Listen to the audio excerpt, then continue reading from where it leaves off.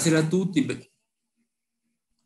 Buonasera a tutti, eh, grazie per partecipare anche a questo ultimo, quarto e ultimo incontro dei seminari Cisco sul risorgimento da ritrovare.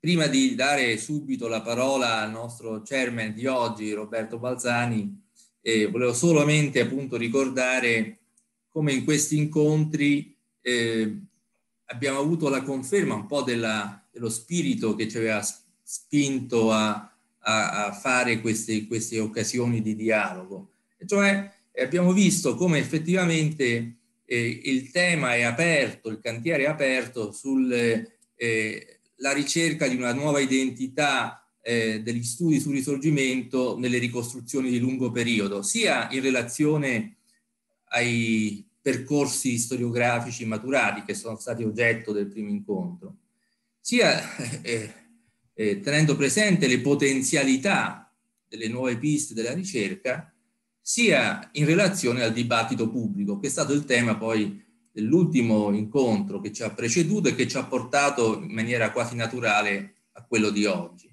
cioè l'impatto che ha il risorgimento nella società attuale. E in particolare tenendo presente due questioni, gli spazi da recuperare, gli spazi archivistici, museali, ma anche gli spazi associativi. Ecco, questi due poli un po' sono il tema del nostro incontro. Direi dunque di iniziare la nostra riflessione comune dando la parola a Roberto. Grazie a tutti per la vostra presenza.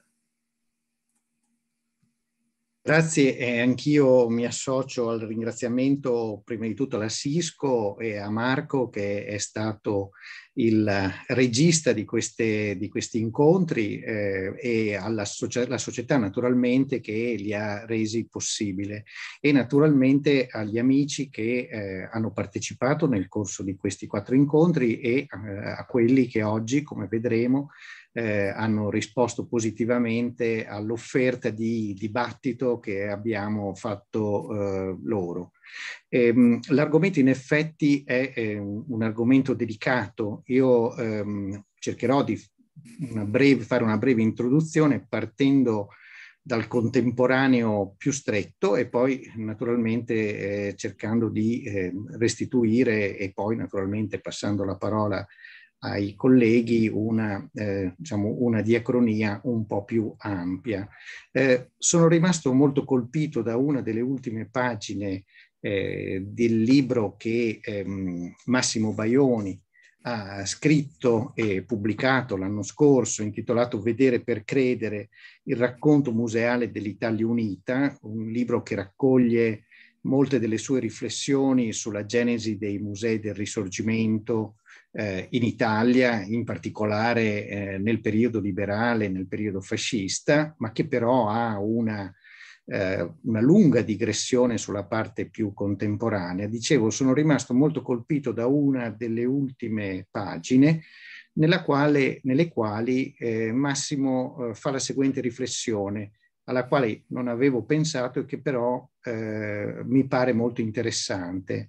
E, egli dice, beh, in fondo eh, l'Italia ha vissuto qualcosa di simile alle crisi di identità che hanno vissuto i paesi dell'est, del centro-est Europa con la crisi del 1989, qualcosa di simile è avvenuto con la crisi di cui quest'anno ricorre il trentesimo, cioè con la crisi della Prima Repubblica eh, nel 1992, cioè eh, un vero e proprio trapasso di rappresentazione della, eh, della memoria storica, anche recente e non solo recente.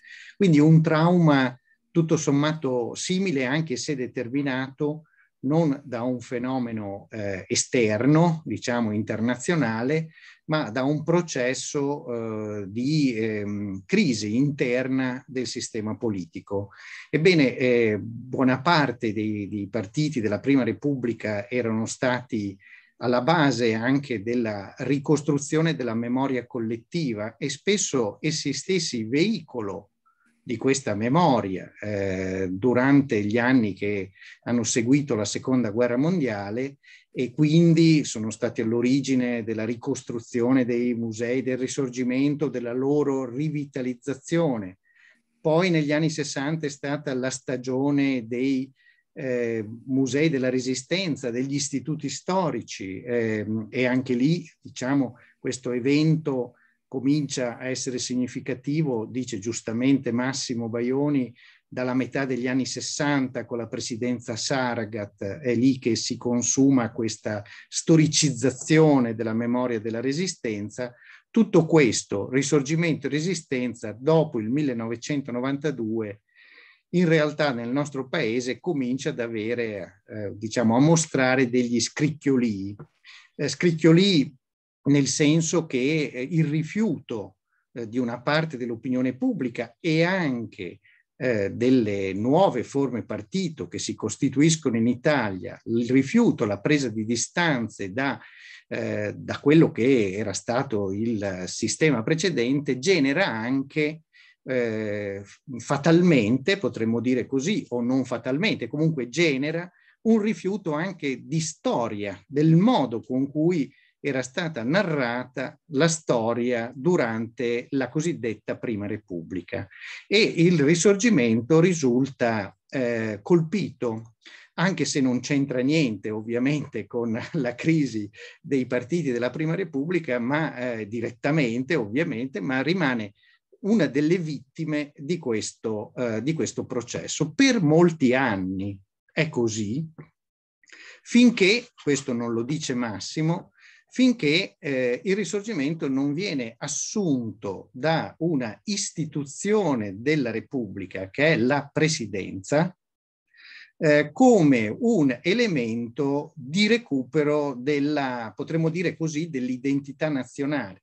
Il Presidente della Repubblica, che nel frattempo cambia il suo ruolo nella storia d'Italia, diciamo dagli anni 90 sicuramente, eh, diventa attraverso la memoria del risorgimento e l'investimento su questa memoria collettiva diventa, potremmo dire così, il garante, questo è, funziona eh, sia eh, comincia già con Scalfaro, poi dopo con Ciampi e via così tutti gli altri presidenti fino ad oggi hanno interpretato questo ruolo torna a essere in qualche modo il garante di questa storia comune. E il risorgimento conosce una sua, potremmo dire così, reistituzionalizzazione, neo-istituzionalizzazione, il che non significa che ritorni nella società italiana, attenzione, ritorna nelle istituzioni della Repubblica legittimato, aveva perso questa legittimazione per qualche anno, eh, ritorna ad essere legittimato, ma eh, diciamo con legato a questa figura. Questo, eh, questo, questo ehm, fatto eh, mi pare particolarmente eh, verificato con la presidenza di Ciampi, in particolare, che restituisce anche l'agibilità al vittoriano come sede simbolica del risorgimento italiano, eh, un monumento praticamente chiuso eh, dal lontano 1969 perché oggetto di un attentato il giorno proprio di Piazza Fontana, no? il 12 dicembre del 1969, rimane sottratto alla, alla, visita, se non per i, naturalmente per le persone che andavano all'istituto, eh, per moltissimi anni. E dall'altra parte eh, c'è da dire anche durante il 150 con la figura di eh, Napolitano, che in qualche modo, eh, soprattutto nella prim- fra la fine del 2010 e la metà del 2011, diciamo seconda metà dell'anno 2010, prima metà dell'anno 2011, poi dirò perché, riesce a essere, diciamo, un po' quello che cuce le manifestazioni per il 150 nel paese. Eh, lo fa eh, meglio di qualunque altra istituzione dello Stato, sicuramente meglio di quanto riesca a fare in quel periodo il governo e, e, diventa un po' il, ehm, il simbolo delle stesse manifestazioni. Manifestazioni che tuttavia si interrompono bruscamente alla metà del 2011, precisamente in estate, con la grande crisi eh, del paese che comincia e con il cambio di governo, la chiamata del professor Monti alla guida del governo, che eh, per la crisi economica che eh, rende, eh, diciamo, mette la sordina a quelle che erano state manifestazioni fino a quel punto abbastanza partecipate e anche, eh, come dire, condivise a livello dalla stampa e anche dall'opinione pubblica. Quindi anche l'operazione di Napolitana è un'operazione che eh, conosce successi, luci e ombre. A un certo punto, per ragioni eh, che sono intrinseche alla crisi, eh, a un'ulteriore fase delicatissima della crisi del paese, ci va dietro anche, viene coinvolto anche il 150 del risorgimento in qualche modo dell'unità d'Italia, finisce in, questa, in, questa, eh, in questo cono d'ombra dal quale poi non si riprende più, nel senso che Napolitano chiude il 150 eh, nei primi mesi del 2012 con una manifestazione finale a Roma, ma di fatto, eh, diciamo, al di fuori ormai di un interesse reale dell'opinione pubblica che è distratta eh, da ben altri temi in quel momento. Allora parto da queste riflessioni che non sono che, sono di un che si fermano a un decennio fa sostanzialmente, eh, per, eh, per, per, per eh, riflettere su che cosa? Prima di tutto sul fatto che ehm, diciamo, il risorgimento rimane ancora un elemento di legittimazione eh, per, per, almeno una parte delle istituzioni italiane.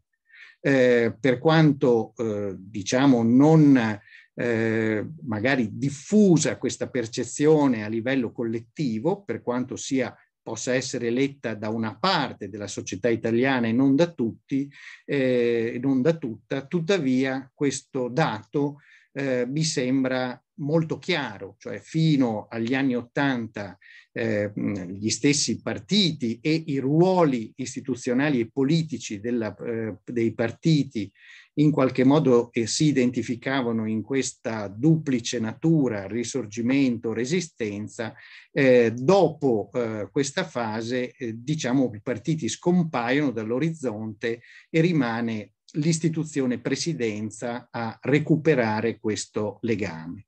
Eh, l'altra questione è naturalmente che eh, l'istituzionalizzazione della memoria risorgimentale fatta dalla presidenza naturalmente ha anche un, eh, presenta anche alcuni problemi, nel senso che la diffusione a livello locale poi della di quello che potremmo chiamare la, eh, la manutenzione della memoria risorgimentale è molto più debole di quanto eh, sia avvenuto nel periodo precedente.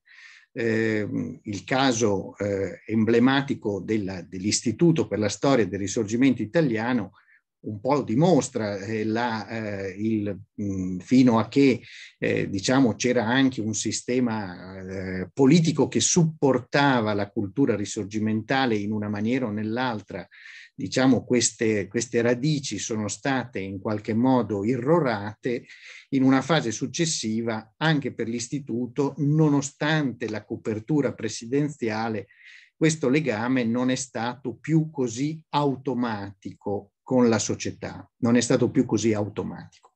E dall'altra parte, eh, nello stesso tempo, e questo è un altro dato che non a caso coincide proprio con eh, i primi anni 90, cioè con questa specie di frattura nella memoria storica che si, de si determina con la crisi politica della Repubblica, nascono viceversa e si rafforzano gli antirisorgimenti italiani, cioè eh, quelle forme di contromemoria locale eh, della, unitaria, contro, contro, la memoria unitaria che eh, in alcune aree del paese, in forme più o meno strutturate, eh, prendono corpo. Questo non avviene solo eh, nel sud, dove l'aspetto neoborbonico poi è il più, eh, diciamo, eh, è il più resistente anche nel lungo periodo, in una certa fase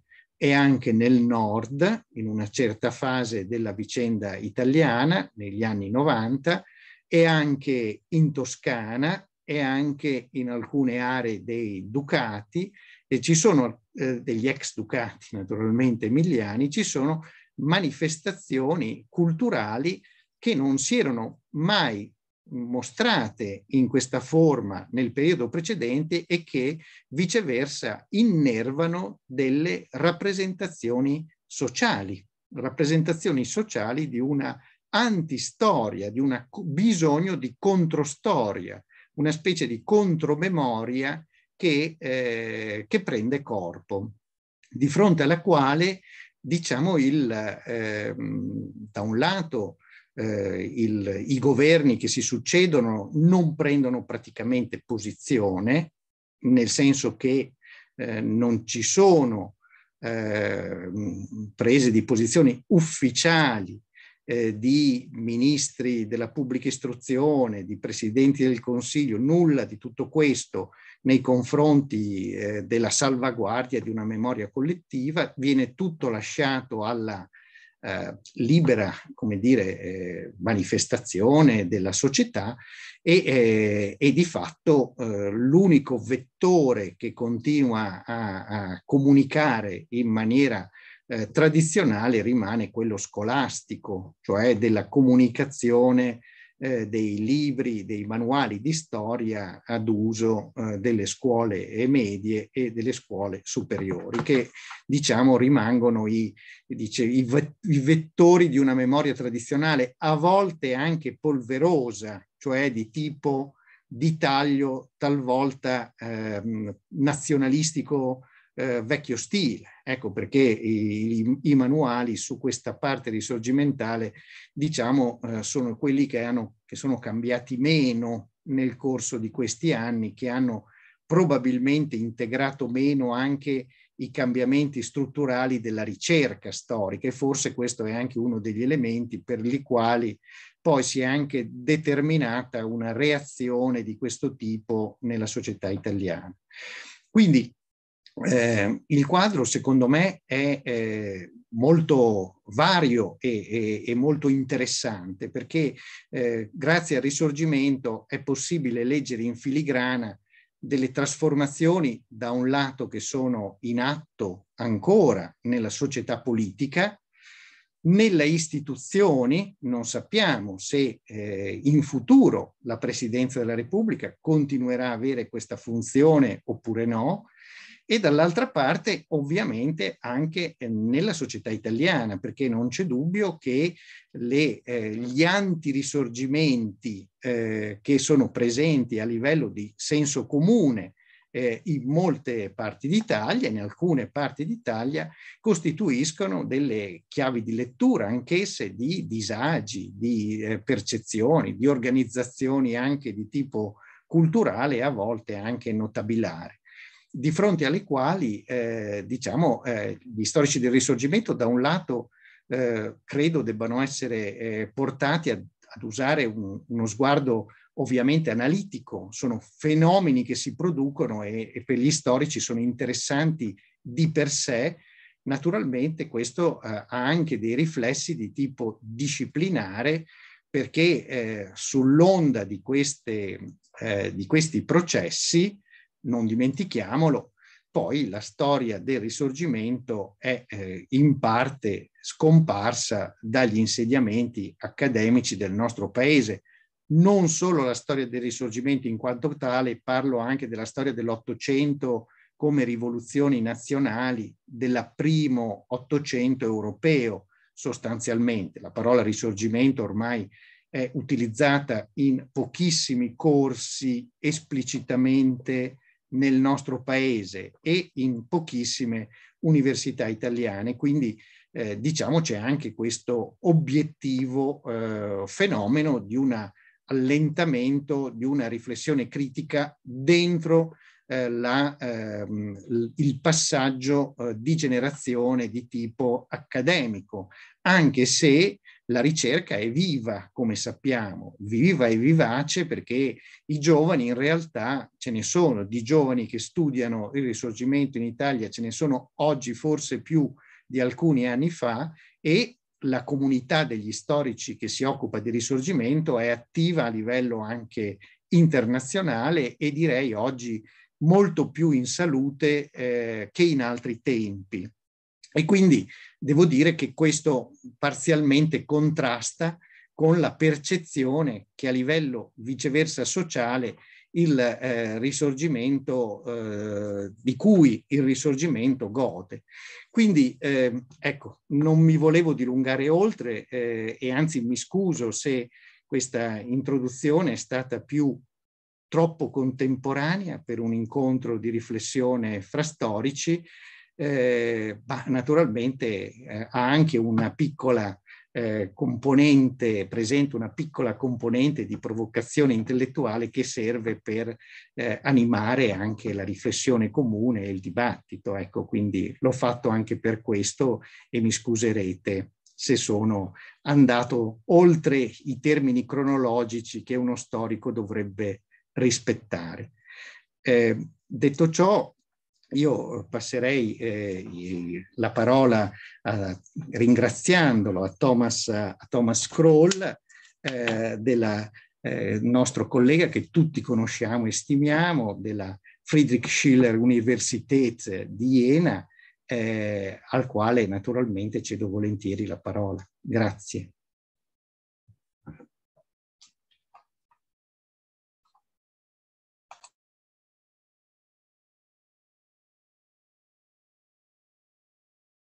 Ho l'impressione che non si senta.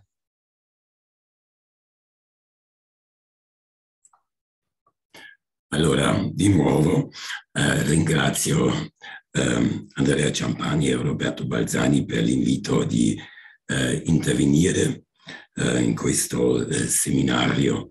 Eh, il tema della presenza degli studi risorgimentali negli spazi museali e del loro ruolo nella rete associativa eh, mi sembra molto interessante, anche se è abbastanza difficile, specialmente se si parla come io fare, farò um, in poi dal punto di vista eh, della ricerca tedesca sul risorgimento. Eh, vorrei fare eh, solamente due osservazioni e forse tento alla fine una eh, breve conclusione. Eh, comincio con la domanda abbastanza semplice, eh, come è organizzato la ricerca storica sul eh, risorgimento eh, in Germania? Mi sembra un punto di partenza. Ehm, ovviamente eh, ci sono eh, i singoli ricercatori e ricercatrici che lavorano sul tema, spesso in dialogo con i colleghi in Italia e come molto, molto campi eh, Roberto Balzani ha già accennato al fatto eh, la ricerca è ormai internazionale. E questo mi sembra una tendenza della uh, storiografia uh, generale dal, dagli anni 90 in poi è certamente anche un prodotto uh, di un effetto della europeizzazione e della globalizzazione come processi politici e sociali um, nel contesto nazionale tedesco, diciamo, um, ci sono due associazioni storiche uh, sorelle che si occupano di storia dell'Ottocento, del lungo Ottocento. Uh, c'è uh, il gruppo di studio per la storia contemporanea italiana, fondata ormai qualche decennio fa, e anche il fratello minore e molto più piccolo gruppo eh, dei eh, specialisti della storia del risorgimento, comunque il gruppo estero eh, dell'Istituto di eh, Storia eh, del Risorgimento Italiano eh, di Roma. Siamo in fondo una dozzina di membri che non sembra molto, ma siamo attivi, insomma. Organizziamo presentazioni di libri, come nell'ultima occasione eh, il, libro, il nuovo libro di Gabriele Clemens, una storia generale del risorgimento. E sono previsti nei eh, anni, mesi da venire seminari, workshop, eh, anche in cooperazione con l'Istituto Centrale a Roma e con colleghi eh, italiani. E, um, questo è il punto anche di ringraziare Andrea Ciampani per il sostegno dei gruppi esteri eh, tempi eh, negli ultimi anni. Il nostro gruppo comunque è attivo, ma bisogna ammettere subito che il risorgimento eh, in Germania occupa solo una, un posto marginale nella storiografia. La ricezione, la discussione eh, del, eh, ehm, l'attenzione alle controversie dei risorgimentisti italiani e internazionali è abbastanza limitata eh, nella storiografia tedesca. Ancora più ristretta è la diffusione delle conoscenze storiche sul risorgimento eh, nel grande pubblico dei lettori o nella società tedesca in generale. Basta uno sguardo rapido alle riviste popolari di storia eh, come damals una volta, in cui prevale l'interesse per tutt'altro che il risorgimento, il Novecento, le guerre prima e seconda guerra mondiale, la Prussia, Federico II, eh, l'impero eh, guglielmino, allora monarchi, piuttosto di monarchia, forse ehm, qualche tema della eh, storia religiosa, il papato e temi esotici, ma il risorgimento è quasi assente. Un fatto ancora più importante mi sembra che il risorgimento non c'è nemmeno nei eh, manuali scolastici dei licei eh, che hanno eh, tuttora un taglio storiografico eh, nazionale.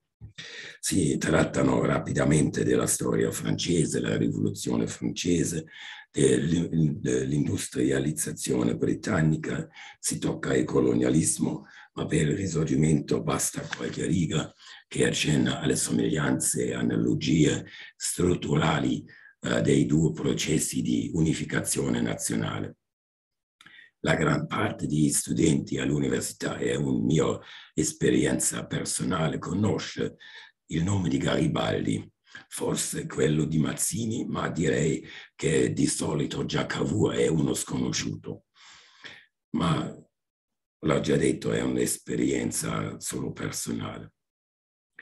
Questo è un po' lo stato eh, di, di, cose in Germania eh, e non vorrei parlare solo di assenze, ma eh, il risorgimento nella storiografia non è molto presente e così si può eh, domandare eh, come ehm, come entra nella rete delle associazioni ehm, nei musei è, è, davvero è molto difficile. Eh, ma io non credo che eh, in questo stato delle cose si esprima soltanto una, un disinteresse eh, del risorgimento eh, di principio, non dai studenti nemmeno del grande pubblico. Eh, decisivo a mio avviso, è una diminuita presenza dell'Ottocento tedesco e europeo generale nella storiografia eh, in Germania e mi sembra anche in Italia, come ha già detto anche Roberto Balzani. La ragione per questo stato mi, mi, mi eh, sembra si debba cercare nelle congiunture, anche eh, nelle mode della ricerca storica nella sua struttura e organizzazione e anche nella logica degli anniversari e celebrazioni pubbliche. In relazione alle ultime, eh, la storiografia accademica professionale, eh, invece di agire, di mettere temi sull'agenda, spesso reagisce, anticipa presunti interessi politico-culturali del pubblico o della politica invece di portare avanti e mettere in gioco i grandi temi dell'Ottocento, i processi di modernizzazione, eh, le rivoluzioni e così via. Ma l'Ottocento non è neanche molto eh, non è molto presente neanche nei musei, nelle grandi mostre. Nelle grandi mostre. Questo fatto è certamente non da ricondurre a una mancanza di musei. In Germania ho controllato le cifre, abbiamo all'incirca 7.000 musei, dei quali un uh, mille si potrebbe definire storici nel senso stretto. Inoltre si contano 3.000 musei locali etnologici, folcloristici, ehm, diciamo di, di tipo uh, cittadino municipale. Anche le mostre sono numerevoli, organizzate a livello nazionale o federale. Molto importanti in questo uh, contesto sono le mostre federali, uh, il cosiddetto Landesausstellung con milioni di visitatori. Ma l'Ottocento non uh, riesce a approfittare dell'afflusso dei visitatori. Eh, per citare un filosofo tedesco, eh, il secolo eh, certamente non è oggetto di, dei pellegrinaggi del moderno pubblico di massa. Di regola le mostre si occupano di temi della storia antica medievale, forse per l'aura sacrale esotica e un certo gusto di avventura, e anche importante è il Novecento, eh, tante mostre di storia del, del nazionalsocialismo, eh, anche della storia dell'unificazione tedesca, la storia dopo il 45, comunque spesso di stampo politico-educativo. Ma ci sono, ci, ci sono state eh, anche eccezioni, poche. Um, do solo uh, qualche indicazione. Eh, la prima mostra importante per l'Ottocento è stato eh, quello eh, che si riferisce a Karl Marx, è il eh, suo dodicesimo anniversario nel 2018. C'è stata una grande mostra federale a Treviri, ehm, con un, un, io direi un misto di divulgazione storica ad alto livello scientifico e mm, di commercializzazione turistica. Mi sembra una cosa abbastanza tipica per questo, uh, questo genere di, di, mostre. Poi c'è stata anche a Treviri um, una nuova versione della mostra permanente nella casa natale di Marx, organizzata dalla Fondazione Friedrich Ebert vicino al Partito Socialdemocratico. E questo se, mi sembra anche tipico. Le associazioni, i partiti eh, sono le istituzioni che, eh, che portano avanti eh, eh mostre del genere. Tutto questo è stato accompagnato dalla pubblicazione di libri su Marx, biografie di grande successo. Eh, questo fatto non eh, Ehm, si spiega soltanto eh, a mezzo del fascino di Marx come persona, anche per l'interesse per il problema, problema dell'evento e della trasformazione del capitalismo. L'altra eccezione, e questo mi sembra più importante anche in paragone al risorgimento eh, e la celebrazione del 1870-71, allora la formazione dell'impero tedesco e la guerra franco-prussiana. Per quanto sappia io, um, la storia italiana era completamente assente. Il concilio, il primo concilio vaticano e anche la bre breccia di Porta Pia uh, e così via, ma um, ci sono state due iniziative interessanti, insomma. Prima eh, è la, una, una, mostra con il titolo La fondazione del Reich a Versailles, organizzato dalla Fondazione Otto von Bismarck, eh, una eh, fondazione ehm, che di fatto è una combinazione di museo e di istituto di ricerca. La domanda cruciale è stata qual, era, qual è il ruolo dell'impero tedesco per la storia tedesca. La seconda eh, mostra eh, che si riferisce al movimento nazionale in Germania negli ultimi anni del 2020 eh, è stato organizzato dal Museo di Storia Militare a Dresda. Comunque il Museo delle Forze Armate in Germania, con il titolo, eh, l'ho tradotto, La guerra fa la nazione. Il problema che si è posto con questa mostra è quello del ruolo della guerra nel processo di formazione dello Stato nazionale, anche del ruolo dell'esperienza de, de, delle guerre per i movimenti nazionali. Allora non è una mostra apologetica, um, mette in evidenza tutta l'ambivalenza uh, del movimento nazionale e dell'impero e evita ogni evita, identificazione de, della nazione con la guerra ma si riannoda anche ad altre iniziative, specialmente sull'età napoleonica, eh, una mostra, mostra, con il titolo Sanguinoso romanticismo, ehm, che si occupa del movimento nazionale intorno alla battaglia di Lipsia del 1813.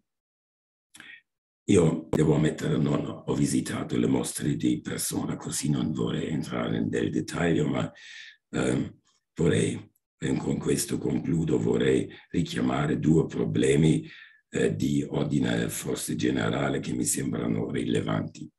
Il primo punto è eh, diciamo, la domanda della public history, eh, qual è la relazione fra ricerca, la relazione fra la ricerca storica e la presentazione pubblica della storia nei diversi modi che ci, ci, sono, che ci sono.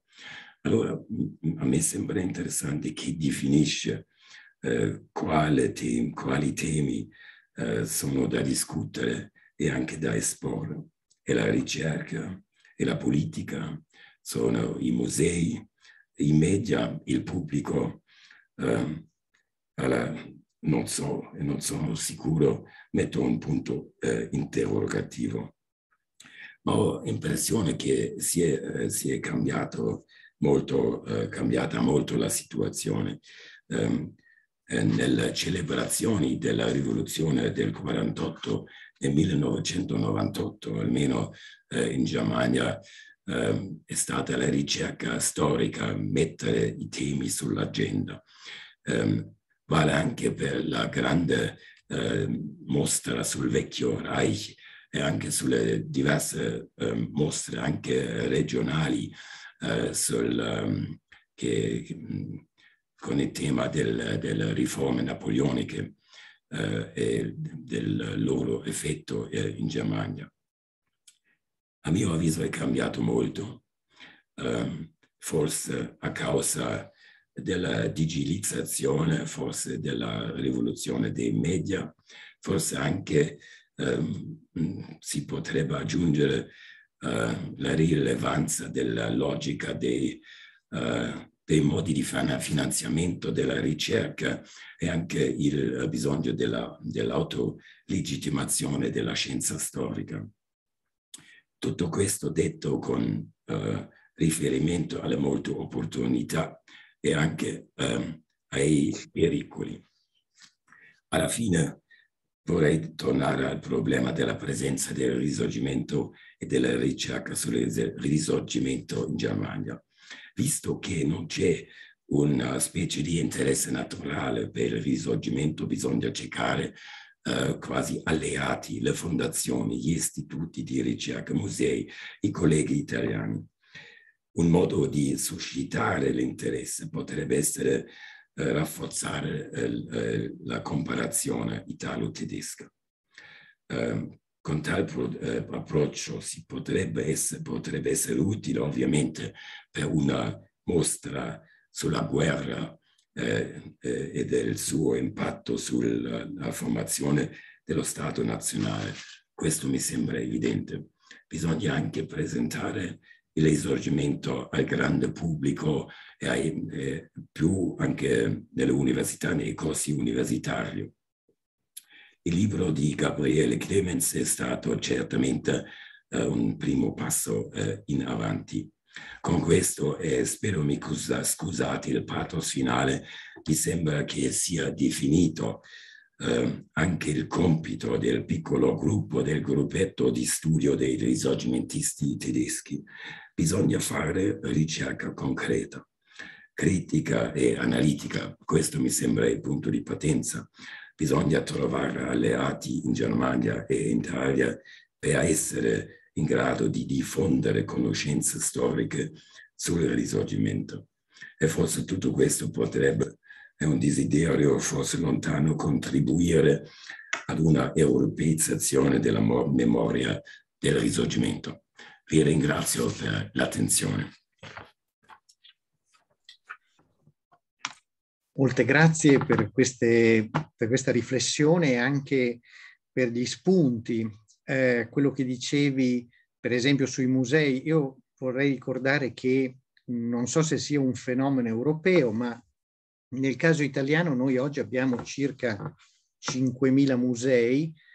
Il 60% di questi musei, eh, sulla base dei dati del, dell'Istat del 2020, è nato dopo il 1990, quindi non sono musei, eh, diciamo così, di tradizione, e sono musei che spesso hanno a che fare con eh, quelle identità locali di cui e si scala locale di cui parlava, eh, parlava prima Thomas. Eh, il 60% dei musei italiani sono di proprietà comunale o eh, pubblica, naturalmente di proprietà comunale o locale. I musei dello Stato sono numericamente pochi, anche se sono naturalmente eh, spesso ovviamente i più ricchi di eh, patrimonio. Eh, argomento anche questo molto affascinante che ci riporta alla questione di quella famosa crisi degli anni 90. Se il paradosso sembra che il patrimonio si sia, abbia cercato delle altre strade in qualche modo rispetto a quelli tradizionali. Eh, adesso vorrei passare la parola, grazie ancora a Thomas Kroll, a Stefano Razzi che eh, è un, insegnante e soprattutto componente dell'Istituto di Storia del Risorgimento Italiano da tempo eh, immemorabile, potremmo dire, nel senso che ha fatto parte di eh, questa vicenda anche del, dei comitati locali con un'esperienza solidissima non solo di studioso ma anche appunto di trade union fra quelle che sono le comunità locali quindi il risorgimento in periferia oggi, dall'altra parte, e il mondo degli studi. Quindi Stefano, grazie per aver partecipato e a te la parola. Grazie Roberto e intanto buon pomeriggio a tutti. Eh, ecco, io pensavo proprio di affrontare un tema odierno del risorgimento e società delimitandolo entro i confini della realtà associativa che si esprime appunto attraverso i comitati dell'Istituto per la Storia del Risorgimento. Eh, rispetto a molti altri istituti storici eh, presenti in Italia, l'Istituto per la Storia del Risorgimento Italiano, che ha sede al Vittoriano, eh, ha infatti una peculiarità, eh, cioè ha una forte base associativa che si esprime attraverso 78 comitati, eh, presenti dal nord e dal sud della penisola e tralascio eh, naturalmente i gruppi esteri dell'istituto. Quindi parliamo di circa 2.000 iscritti, eh, erano 3.000 eh, dieci anni fa, probabilmente per l'effetto del risveglio generato dalle celebrazioni del 150 eh, dell'Unità d'Italia di cui accennava prima eh, Roberto Balzani. Eh, di sicuro ecco, i direttori dei comitati provinciali, mh, ora così sono definiti, un tempo erano presidenti, sono quelli che comunque favoriscono, eh, oltre a un'attività culturale, anche le iscrizioni, e cioè si prendono cura delle, dei regolari versamenti dei soci. Eh, dico questo perché poi queste migliaia di iscrizioni, diceva uh, poc'anzi, no? come eh, diciamo, obbligo e impegno sono anche una voce economica importante come sostegno alla rassegna storica del risorgimento. E quindi tutti i comitati sono tenuti al versamento di questi due terzi, quindi di 25 euro per ciascun iscritto, 20 vanno alla sede centrale e eh, si capisce di conseguenza che i comitati godono anche di risorse, di risorse limitatissime. Eh, come avviene ecco, l'iscrizione ai comitati? Eh, io ricordo questo quesito si era rivolto da noi ex presidenti al tempo della Emilia Morelli, eh, che è stata a lungo presidente dell'istituto, e durante una riunione della consulta al Vittoriano eh, chiedevamo, ecco, ma questi soci devono essere accademici, laureati, oppure possono iscriversi anche tutti coloro che sono appassionati, amanti di storia risorgimentale.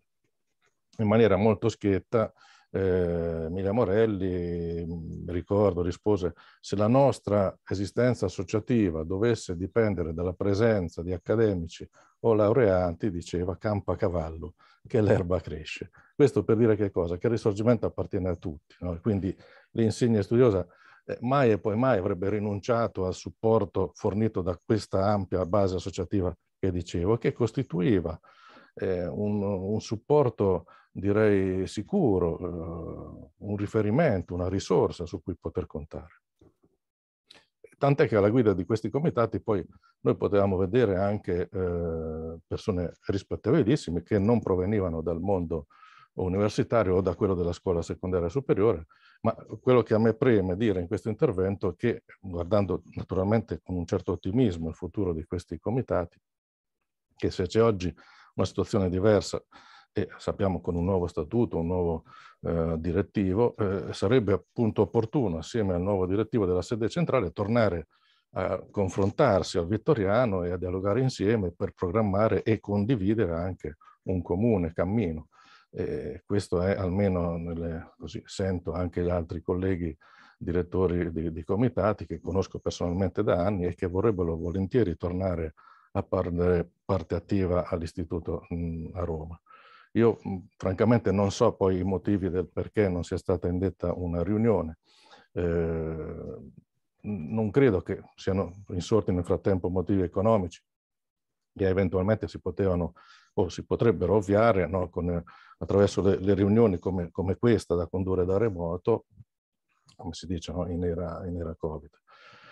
È anche vero che il direttivo comunque ha una sua autonomia, eh, ha una totale autonomia. Io ricordo, qui eh, leggo dallo statuto che tutti quanti voi potete vedere perché è online, l'eventuale presenza dei membri dei comitati territoriali non è computata ai fini del raggiungimento di un quorum per la validità delle deliberazioni da parte del Consiglio direttivo. E I membri direttivi partecipano senza diritto di voto. Eh, ecco, io mi soffermo su questo, questo, passo dove dice eventuale presenza e partecipazione dei membri dei comitati territoriali, che essendo senza diritto di voto, eh, in questo senso potrebbero anche non avere nessun, nessun, ruolo, comunque non sono indispensabili per deliberare. Eh, quindi a distanza di tempo, direi, ecco, questi comitati provinciali che un tempo si riunivano, oggi sono un po' come eh, le monadi di Leibniz, no? indipendenti sì, però privi di un luogo di confronto collettivo eh, con la sede centrale e con le attività degli altri comitati.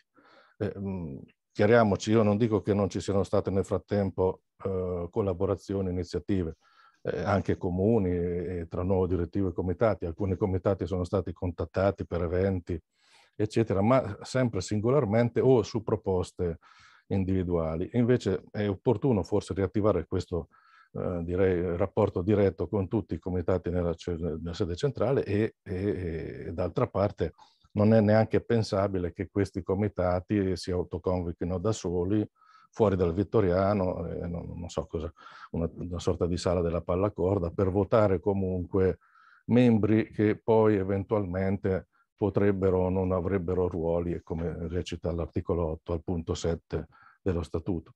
Eh, e questo può creare un allontanamento ecco, tra i comitati periferici e la sede centrale, che potrebbe anche avere riflessi. Io ricordo che le organizzazioni eh, dei congressi nazionali eh, in passato avevano una tradizione importante.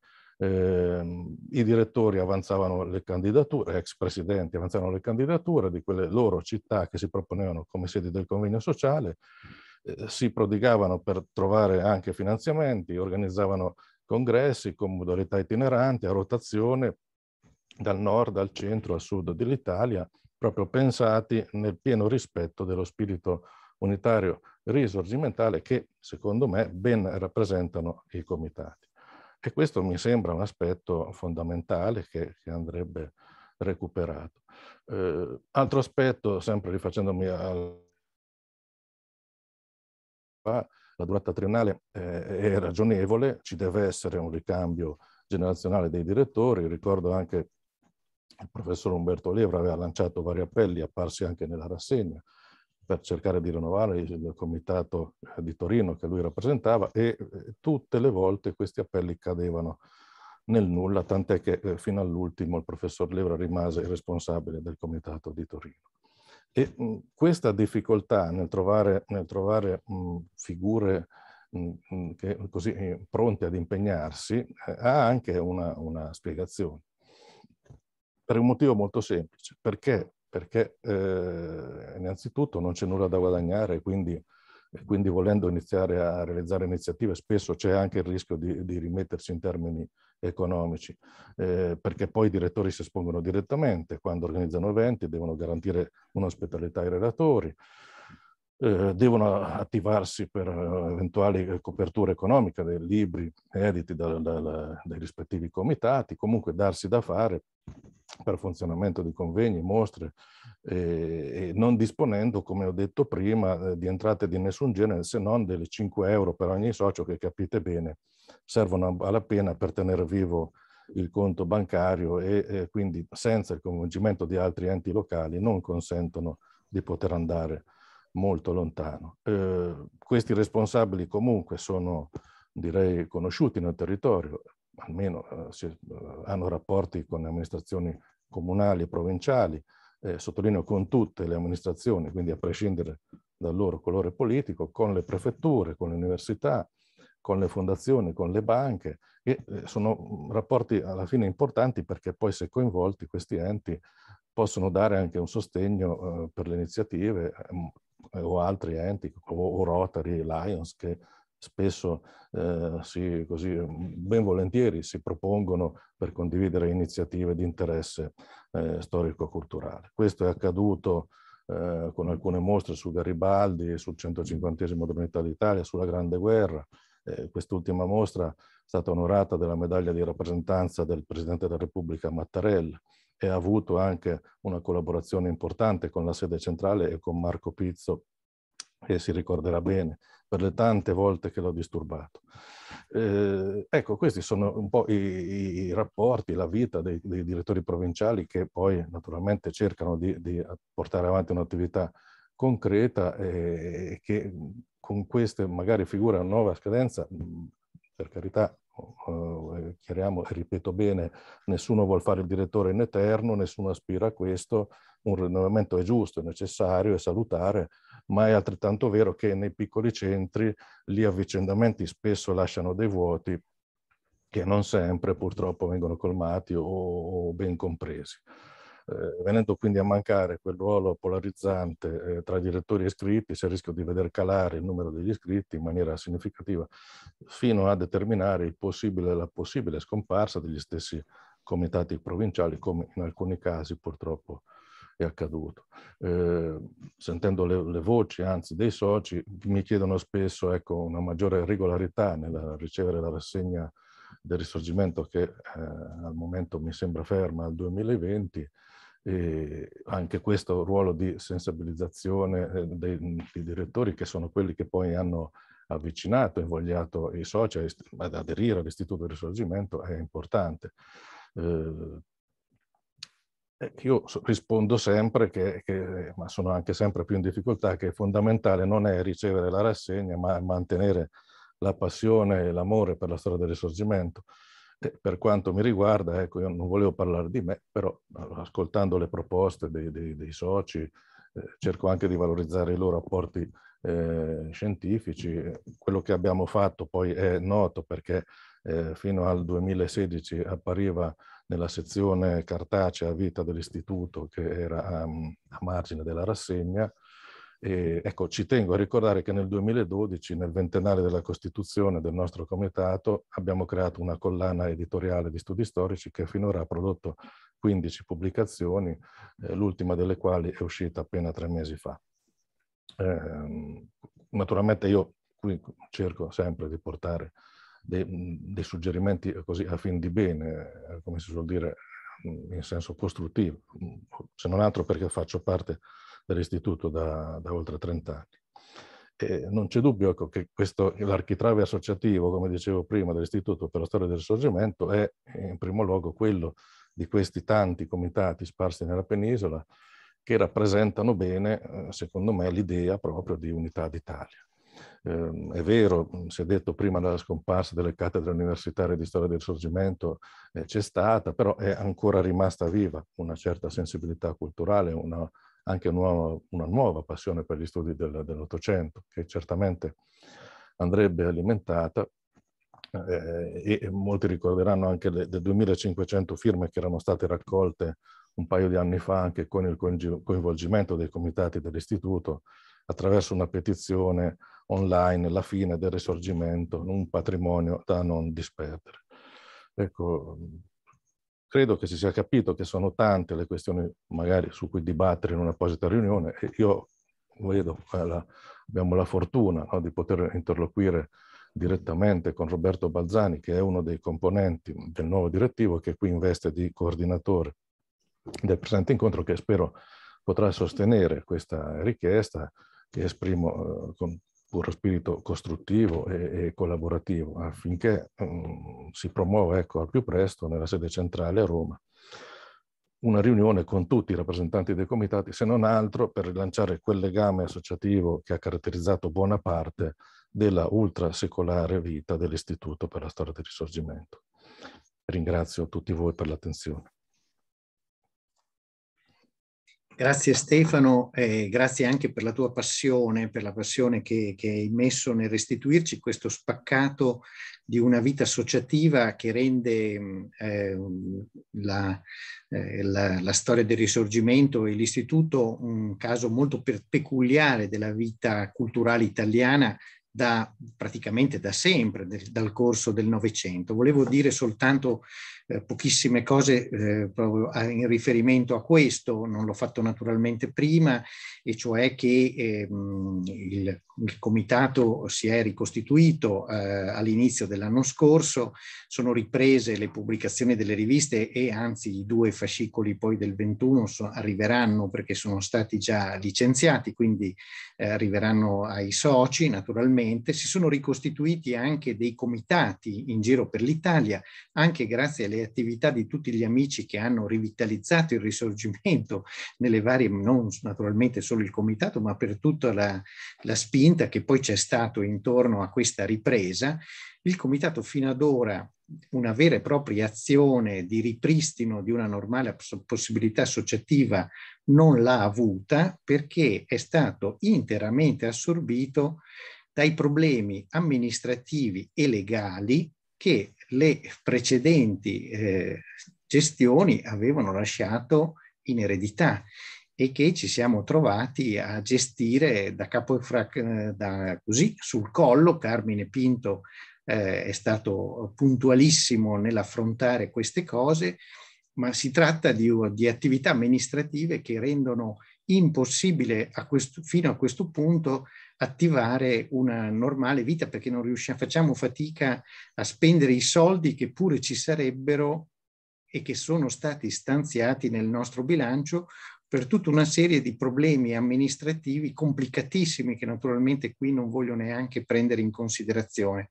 Questo dipende dalla complessità del sito vittoriano nel quale l'istituto è collocato naturalmente, che vede una relazione da sempre molto difficile, molto complessa da gestire, lo è stato sempre, lo è stato sempre una, un, pro, un, problema difficile, poi ce ne parte, parlerà Marco Pizzo, con gli altri attori, in primo luogo le soprintendenze, le gestioni eh, diciamo del Ministero della Cultura che insistono sullo stesso sito e, e, e eh, Stefano eh, in parte lo sa, questo ha fatto sì che eh, l'attività dell'istituto sia stata anche bloccata per questi questi, l'attività dell'istituto intendo lato soci, cioè lato attività culturale.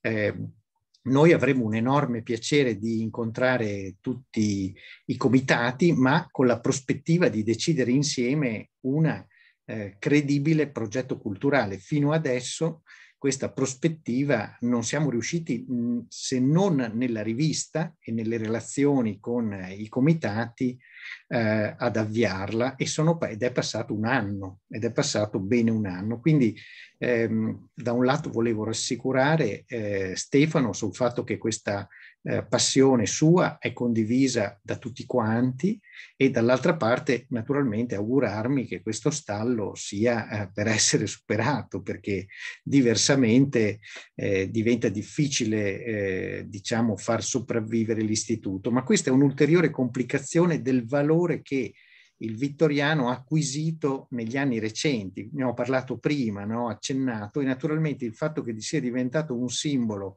particolarmente appetito anche dal punto di vista patrimoniale, cioè del patrimonio culturale, oggi uno dei siti più visitati di Roma, con milioni di visitatori, naturalmente rende, come dire, i riflettori intorno a questo oggetto eh, più accesi e più complessi, voglio dire, da, eh, da gestire di quanto potesse essere ai tempi della professoressa Morelli, eh, quando il Vittoriano, quando ho cominciato a frequentarlo tantissimi anni fa, in cui il Vittoriano era un, un luogo eh, semi-abbandonato dal punto di vista patrimoniale, della valorizzazione patrimoniale. Ma proprio su questi temi e anche perché ci dicono quanto questo argomento sia intrinseco agli stessi spazi della rappresentazione eh, della monumentalità italiana, diciamo, per cui c'è un istituto che sta dentro un, monumento, è una cosa abbastanza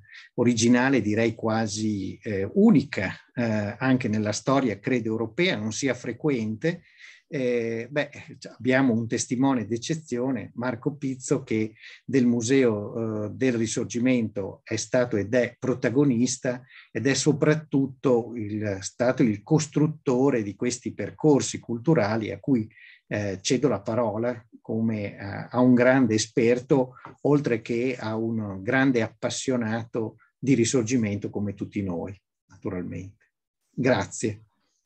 Allora, io innanzitutto vi ringrazio dell'invito a partecipare a questo incontro, anche perché già dagli interventi che mi hanno preceduto sono tante le suggestioni che mi sono venute. Iniziamo dall'incipit, cioè il recupero della storia del Museo del Risorgimento che ha fatto in quel bellissimo libro Baioni. Lui fa una fotografia di com'erano i musei del Risorgimento negli anni 30, 40 e 50 e se li confrontiamo a oggi, devo dire che il paragone è abbastanza impietoso, perché i musei risorgimentali sono rimasti pochissimi. Ci siamo noi, Milano, Torino, Bologna, delle altre realtà. Ma a mio avviso una delle realtà che eh, era insita nel, nello, e che è ancora insita nello statuto, cioè questo coordinamento del musei di risorgimento tra di loro, in effetti non c'è mai stato e non c'è adesso, cioè viaggia su delle relazioni personali, cioè io e Stefano Razzi abbiamo fatto tantissime attività insieme, come le facciamo con Milano, con Torino, eccetera, ma sono delle cose poco istituzionalizzate. Ancora diverso è il problema proprio tra del ruolo che anche ultimamente ha avuto l'Istituto del Risorgimento, il Museo del Risorgimento con il Vittoriano specialmente adesso che si è creata una sorta di frattura per cui il museo in parte è gestito direttamente dal nuovo polo museale e l'istituto ha da un'altra parte delle collezioni intrinsecamente legate a quelle del museo. Ma questo perché, come mi insegnava il professor Talamo, che era uno dei protagonisti della stagione del Vittoriano, mai andare in canoa con un elefante Ecco, l'istituto è andato in canoa con un elefante che è il Ministero per i beni culturali e la gestione è sempre stata abbastanza complessa. Ora, se noi facciamo il paragone tra quelli che sono i musei storici italiani con l'esperienza che ho sentito prima, per esempio da Kroll della Germania, anche qui devo dire il paragone è abbastanza impietoso, perché i musei storici di Berlino, di Bonn, di Francoforte, cioè incentrati sulla storia, hanno una struttura e una forza molto, ma molto diversa dai musei che si occupano di storia in Italia. con delle mostre anche di tutt'altro piano e di tutt'altro livello. Ma questo forse anche perché è diversa l'attenzione alla storia che c'è anche in altre nazioni. Basti pensare che è stato fatto recentemente, insomma, qualche anno fa, uno studio sui musei di storia contemporanea in Italia e in Italia di fatto manca un museo di storia contemporanea. Cioè ci sono dei musei del risorgimento, dei musei della resistenza, ma un museo complessivo della storia dell'Italia, regno e repubblica, di effetti manca. Se noi andiamo al Museo di Storia di Berlino o di Bonn, vediamo che lì la storia viene raccontata anche fino agli anni 90, fino al 2000, cosa che stori storiograficamente e museograficamente in Italia è un progetto che mi pare abbastanza lontano. Ora devo dire che l'istituto sembra in qualche modo rinato anche grazie alla presidenza di Pinto di qualche anno, che si è insediato da un anno e pur mettendo mano alla gravissima gestione problematica dell'istituto di per sé, sta dando un taglio internazionale e tra virgolette anche giovane e contemporaneo alla ricerca. Anche perché la ricerca del risorgimento oggi è un po' diversa, cioè noi come istituto, faccio come esperienza mia personale, siamo chiamati a collaborare a delle mostre molto più in linea con il dibattito contemporaneo cioè adesso io ho richieste di prestito, per esempio, da parte del MUDEC di Milano, che a maggio farà una mostra sugli afroamericani in Italia, sul Black People, quindi da Guyard in poi, che è molto in linea con alcune tematiche anche della public history contemporanea. Così come oggi la mostra storica che attualmente c'è a Roma è quella sugli ebrei nella contemporaneità d'Italia dove anche noi abbiamo cercato di dare una mano. Ora, nella la gestione poi del museo, quali sono stati i grandi cambiamenti? Oramai io sono lì da circa vent'anni e da un, in, un inizio in cui l'attività didattica del museo era fondamentalmente quella di fare delle mostre tematiche, penso a quella di Garibaldi, Benedetto Croce, Mazzini, eccetera, mano a mano si è cercato e si è visto, specialmente a Roma, che l'esigenza di una struttura museera era quella fondamentalmente di esternalizzare la sua attività museale. Noi negli ultimi anni abbiamo fatto tantissima didattica storica, non solo nel museo, ma creando dei seminari in quelle che sono le periferie romane, ma periferie periferie, parlo di Torbella Monaca, San Basilio, eccetera, portando lì materiali e facendo lì della elaborazione storica.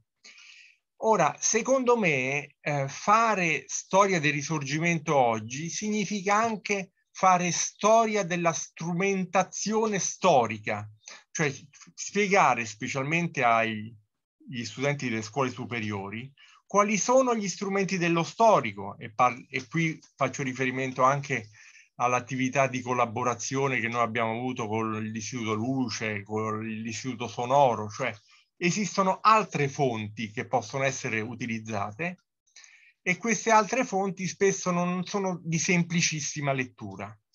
E l'altro cardine, che secondo me è stato anche molto importante, è il protocollo d'intesa, che oramai abbiamo da circa otto anni, con il DAP, Ministero della Giustizia, che ha permesso a una serie di detenuti di venire a lavorare in istituto facendo non solo attività di schedatura di materiali, ma andando noi poi nelle carceri a fare attività didattica e di storia del risorgimento che ha portato, per esempio, parlo dell'iniziativa che abbiamo fatto nel carcere di Avezzano, che i detenuti del carcere di Avezzano hanno organizzato una mostra che hanno realizzato poi sulla prima guerra mondiale nel castello di Avezzano e la cosa paradossale è che i detenuti non sono potuti andarla a vedere per ovvi motivi di sicurezza e di gestione dei carceri italiani. Ora, è proprio questo, secondo me, la, il, un modo per rivitalizzare e dare nuova vita al risorgimento e alla storia museale. Quest'anno, cioè l'anno scorso, c'è stato il centenario del Milite Ignoto E noi come istituto, quindi con Carmine Pinto, con l'Università di Milano e con Barbara Bracco, abbiamo fatto un volume che conteneva la digitalizzazione, la schedatura, eccetera, di qualcosa come 45.000 cartoline inviate al Milite Ignoto. Ora, la cosa importante in questo caso non è stato il fatto in sé, cioè la mostra e il volume, quanto che per fare questo lavoro sono stati coinvolti i carceri dei detenuti di Regina Celi, Re Bibbia, il carcere di massima sicurezza di Paliano, dottorandi dell'Università di Milano, studenti delle scuole romane, studenti dell'Università di Milano, cioè un modo diverso di far avvicinare gli studenti alla storia. Ecco, io credo molto nella vitalità del risorgimento, ma proprio perché il risorgimento oggi viene letto sempre più come un fenomeno complesso, che riguarda non solo la parte più storico-politica, ma anche tutte quelle che sono la parte pubblica, il teatro, la, la fotografia, la stratificazione proprio culturale che si è verificata nell'Ottocento. Ora, l'Istituto per il Risorgimento ha un pregio e un difetto, cioè il pregio che comunque contiene un archivio immenso sulla prima guerra mondiale, sui documenti. Il difetto è che forse contiene troppo rispetto alle sue possibilità. Noi abbiamo un patrimonio storico-documentario enorme che va gestito con molta complessità e anche l'attività museale che fino a qualche tempo fa gestivamo noi direttamente, la grossa problematicità era innestata al fatto che come gestire un museo che mentre negli anni 80 aveva qualche cosa come 20-30 mila visitatori, oggi ce n'ha 3 milioni e mezzo. Questo è un cambiamento epocale. Di questi 3 milioni e mezzo, ecco, la metà, la più della metà sono studenti o persone di passaggio a Roma e specialmente gli stranieri spesso non sanno neanche chi è Garibaldi, eh? non sanno chi è Mazzini, non sanno che cos'è il risorgimento e quindi anche lì si tratta di livellare la comunicazione e quindi il museo stesso deve avere un approccio diverso, cioè come raccontare la storia oggi. Ecco, questo era il succo del mio discorso.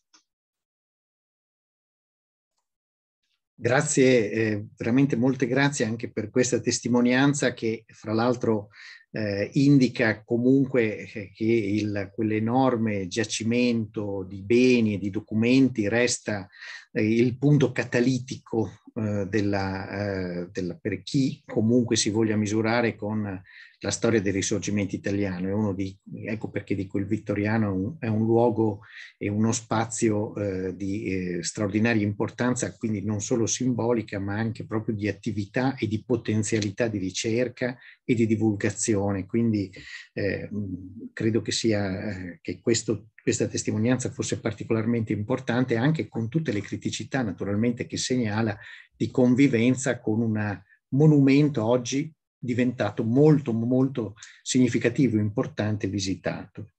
Grazie ancora e adesso eh, passo la parola a, mm, a, Fernando García Sánchez che eh, insegna al Centro de Ciencias Humanas y Sociales di Madrid, ringraziandolo ancora per eh, la sua presenza qui e per un'ulteriore testimonianza di questo rapporto comparato che questa disciplina e questi argomenti hanno con eh, lo spazio europeo. Grazie a te e per essere qui oggi con noi. Grazie, grazie, grazie alla Cisco e grazie a te Roberto e grazie Andrea per questo invito eh, su degli argomenti così interessanti. Tutto, tutto il percorso de, dei seminari è stato veramente interessante e anche direi utili, cose che tante volte nei nostri seminari non possiamo affermare lo stesso. Mm, io direi subito che eh, il mio piccolo intervento va più in la linea del tuo intervento, eh, Roberto, che hai, hai, chiamato troppo contemporaneista forse. Um, perché quando mi sono messo a, a scrivere qualche riga su questo, sul tema di questa seduta, risorgimento e società, E mi sono reso conto che venivano fuori delle domande di, di, di grande respiro, delle domande che io mi sto facendo ormai da tempo con la situazione della, della, della storia.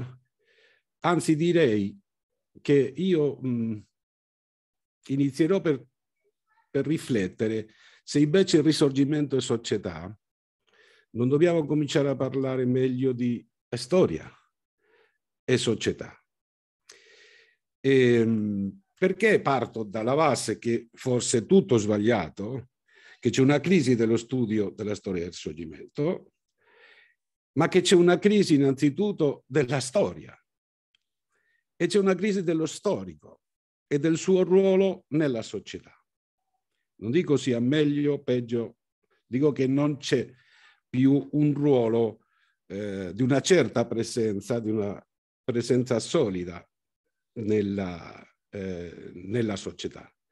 Insisto, secondo me, secondo me, ma non è la società che ne ha eh, un problema allontanandosi ipoteticamente del suo interesse per, per la storia. In questo stesso foro, in queste stesse sedute, si è ricordato molto graficamente che nelle librerie oggi eh, lo spazio dedicato alla storia viene ridotto ogni giorno che passa. Ed è vero, secondo me è vero, almeno per quello che so dell'Italia è così, per quello che so della Spagna eh, è anche così. Ma ci dimentichiamo forse che in queste stesse eh, librerie lo spazio dedicato al romanzo storico è ogni giorno che passa più grande. Cioè non c'è, secondo me, un disinteresse per la, eh, per la storia. Anzi, al contrario, c'è un disinteresse per un modo di trattare e di raccontare eh, la storia. Diciamo da un punto di vista eh, strettamente accademico, che risulta, e permettetemi questa espressione, molto poco gentile col comune della cittadinanza, del pubblico, perché io capisco società, non come la società degli storici, non come la società, la società nel suo eh, insieme. E certo, le nostre società hanno cambiato tantissimo negli ultimi decenni, hanno cambiato profondamente la forma e anche il fondo nella trasmissione della, eh, dell'informazione. Non è la società che deve cambiare, siamo noi quelli che dobbiamo eh, realizzare questo cambiamento, un cambiamento in profondità davanti a una realtà che è tutta nuova. Dobbiamo aprire forse le porte delle nostre torri di d'avorio e confrontarci con quella realtà, con quella che è, non quella che immaginiamo, quella che c'era una volta. Forse dobbiamo tornare all'essenza del nostro mestiere, cioè studiare per spiegare.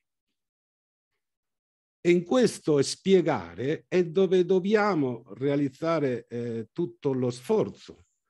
Non solo si tratta di adattarci alla nuova società dell'informazione.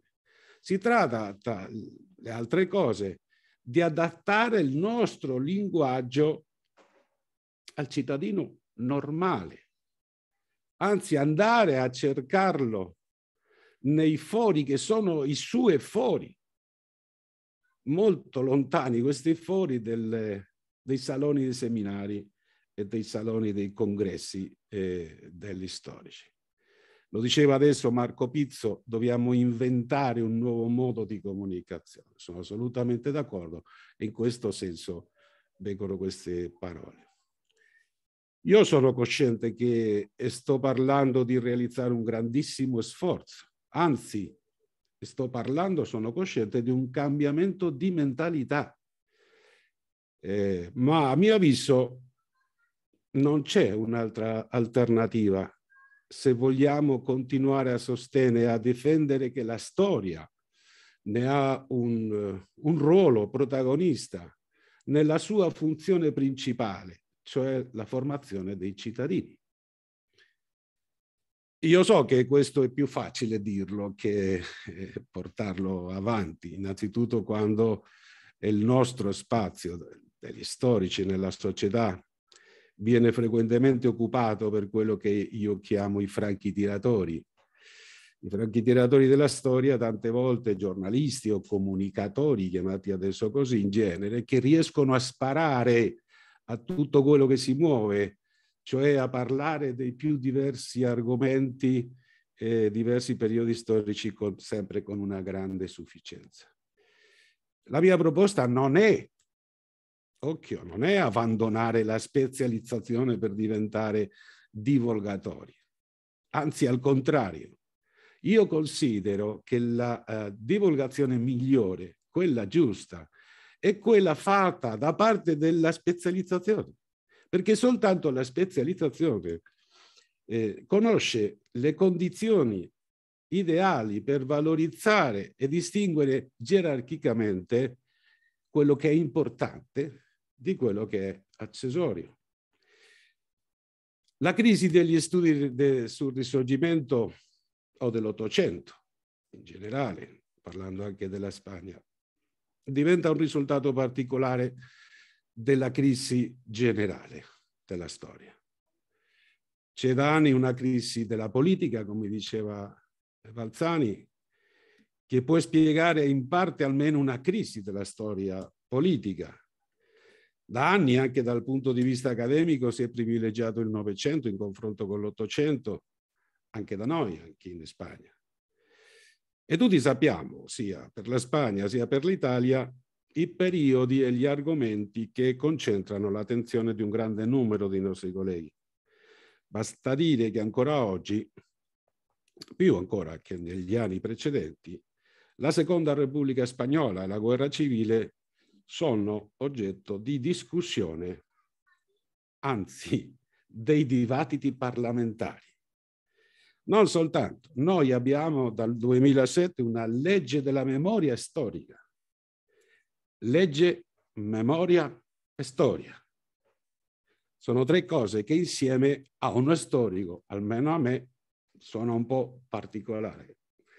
Adesso credo che tra poco avremo una legge della memoria democratica, così che sappiamo che viene valorizzata in più la storia di Spagna che viene fuori dal 36 fino a, eh, almeno fino al 75, perché tratta di rimediare, di mettere a punto sia il colpo di Stato del generale Franco, cioè la guerra civile, sia il franchismo e le sue eh, migliaia di, di vittime.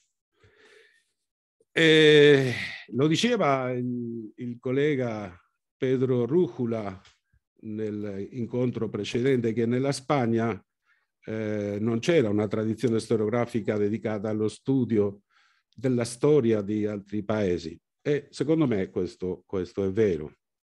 Anche perché in Spagna eh, c'è stata la permanenza di eh, quello che noi abbiamo chiamato il conflitto interno, che ancora oggi, non soltanto in passato, c'entra una buona, in buona misura l'attenzione ma non soltanto degli storici. Per questo che c'è stato tradizionalmente una, eh, un legame molto forte tra storia e politica e gli storici sappiamo che quando eh, entra la, la, politica nel terreno della storia, la storia va fuori dalla finestra, cioè non è un semplice rapporto e meno ancora eh, pacifico. Io modestamente, nella misura che ho lavorato sulla storia del, del risorgimento, l'ho fatto con un doppio obiettivo. Con l'obiettivo di ricostruire la storia dei rapporti tra l'Italia eh, e la Spagna e innanzitutto come una forma di misurare l'impatto degli avvenimenti italiani nella società spagnola. Cioè, lo stesso di dire, le conseguenze dell'impatto del risorgimento a livello internazionale. perché a mio avviso non possiamo rimanere soltanto a considerare il risorgimento come un processo eh, per la formazione dello Stato unitario, bensì del risorgimento come un gran avvenimento internazionale, perché ha messo in discussione, in un dibattito molto, molto ricco e molto diverso, le grandi questioni, siano ideali, siano ideologiche, che erano in discussione in tutta Europa. Lo stesso concetto di nazione, lo stesso concetto di costruzione nazionale, lo stesso concetto di rivoluzione, di unità, di federazione, di monarchia, di repubblica. Sono, secondo me, degli argomenti abbastanza contundenti per eh, riconoscere nel risorgimento, eh, riconoscere il risorgimento innanzitutto come un avvenimento, un grande avvenimento internazionale. Lo diceva Massimo eh, Bernardini nell'ultima seduta, eh, che la storia del risorgimento è una storia fantastica, dice, è una storia fantastica. Io sono d'accordo, ma mi domando e vi domando a tutti voi, perché essendo una storia fantastica non riusciamo a comunicarla così ai nostri concittadini? Grazie tante per l'ascolto.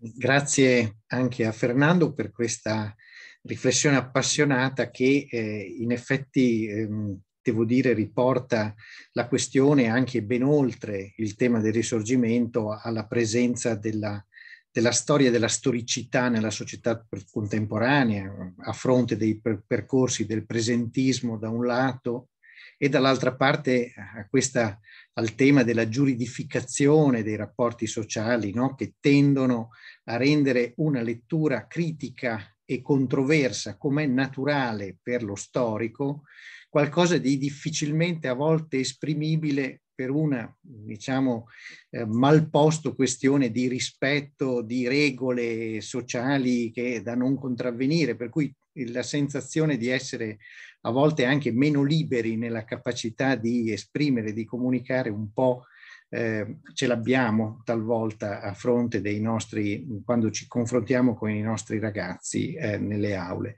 E, e, quindi credo che questa tua riflessione sia, diciamo, sia degno, eh, la degna conclusione di questa, di questa, di questa riflessione che, che, siamo andati facendo oggi, che è stata secondo me di, eh, di grandissimo interesse per la pluralità delle voci e anche dei temi locali, nazionali, eh, internazionali e eh, che riguardano i musei, che riguardano anche nostro, la nostra responsabilità di storici.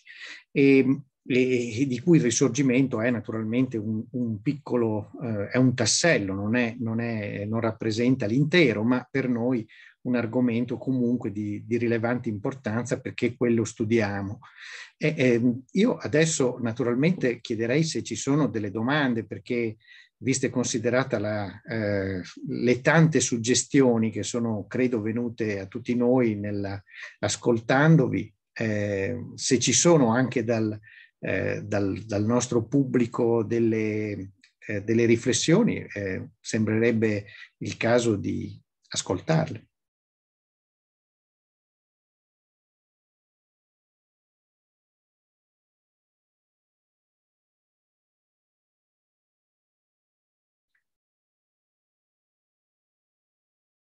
Aspettiamo qualche istante per... Eh, buonasera Roberto, non so se... Ciao Marco, si ciao. Possa, si possa prendere la parola così sì, certo. o se ci sia una procedura no, non c'è. È, emergenziale. È okay. un contesto di totale libertà.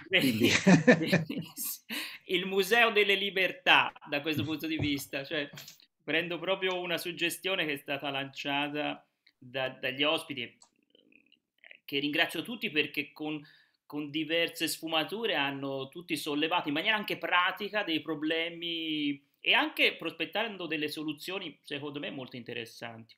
Siccome mi appresto a diventare responsabile del, del Comitato del Risorgimento di Cagliari, e, ehm, mh, fattivamente abbiamo la, la, l'ipotesi e la volontà di creare un sodalizio con l'archivio di Stato di Cagliari, che adesso ha una direzione anche giovane, piuttosto dinamica, proprio per creare un piccolo museo del risorgimento.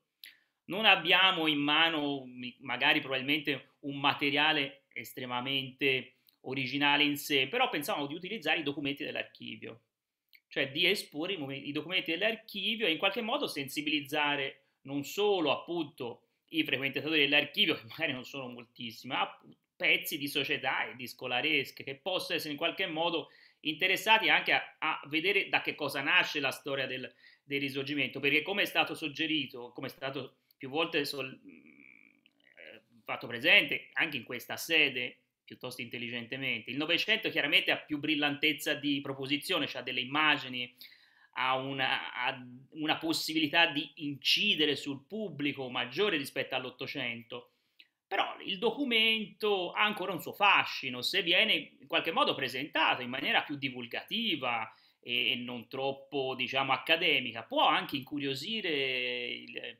i giovani studenti delle scuole o, o comunque la società stessa che vede materialmente da che cosa nasce una ricerca. Quindi questo il nostro nuovo giovane direttore dell'archivio di Stato ha lanciato questa suggestione al Comitato del Risorgimento, ha detto io posso creare un piccolo museo del risorgimento nei locali della, dell'archivio attraverso la documentazione che conserviamo. Chiaramente è chiaro che sarà una declinazione più regionale, ma questo nulla toglie comunque al fatto che si possa fare un piccolo percorso, anche a tema, anche mutandolo nel tempo, arricchendolo in qualche modo adattandolo anche a quello che è il materiale che abbiamo a disposizione. Ecco, questo è un modo forse pratico, anche a basso costo, per rilanciare in qualche modo il, il, il la, la, più che la storia del risorgimento, proprio l'Ottocento, un, un, secolo che più volte qui abbiamo detto non deve essere dimenticato, non deve essere lasciato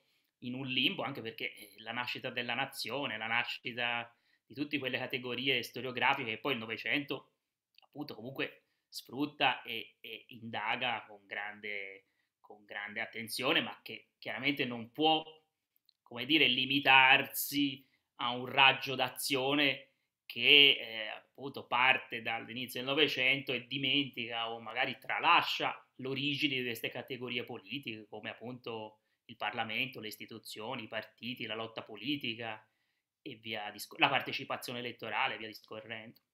Quindi ringrazio ovviamente per, per, le suggestioni e lascio altri la parola, così magari sicuramente ci sarà sempre qualcosa di interessante da ascoltare.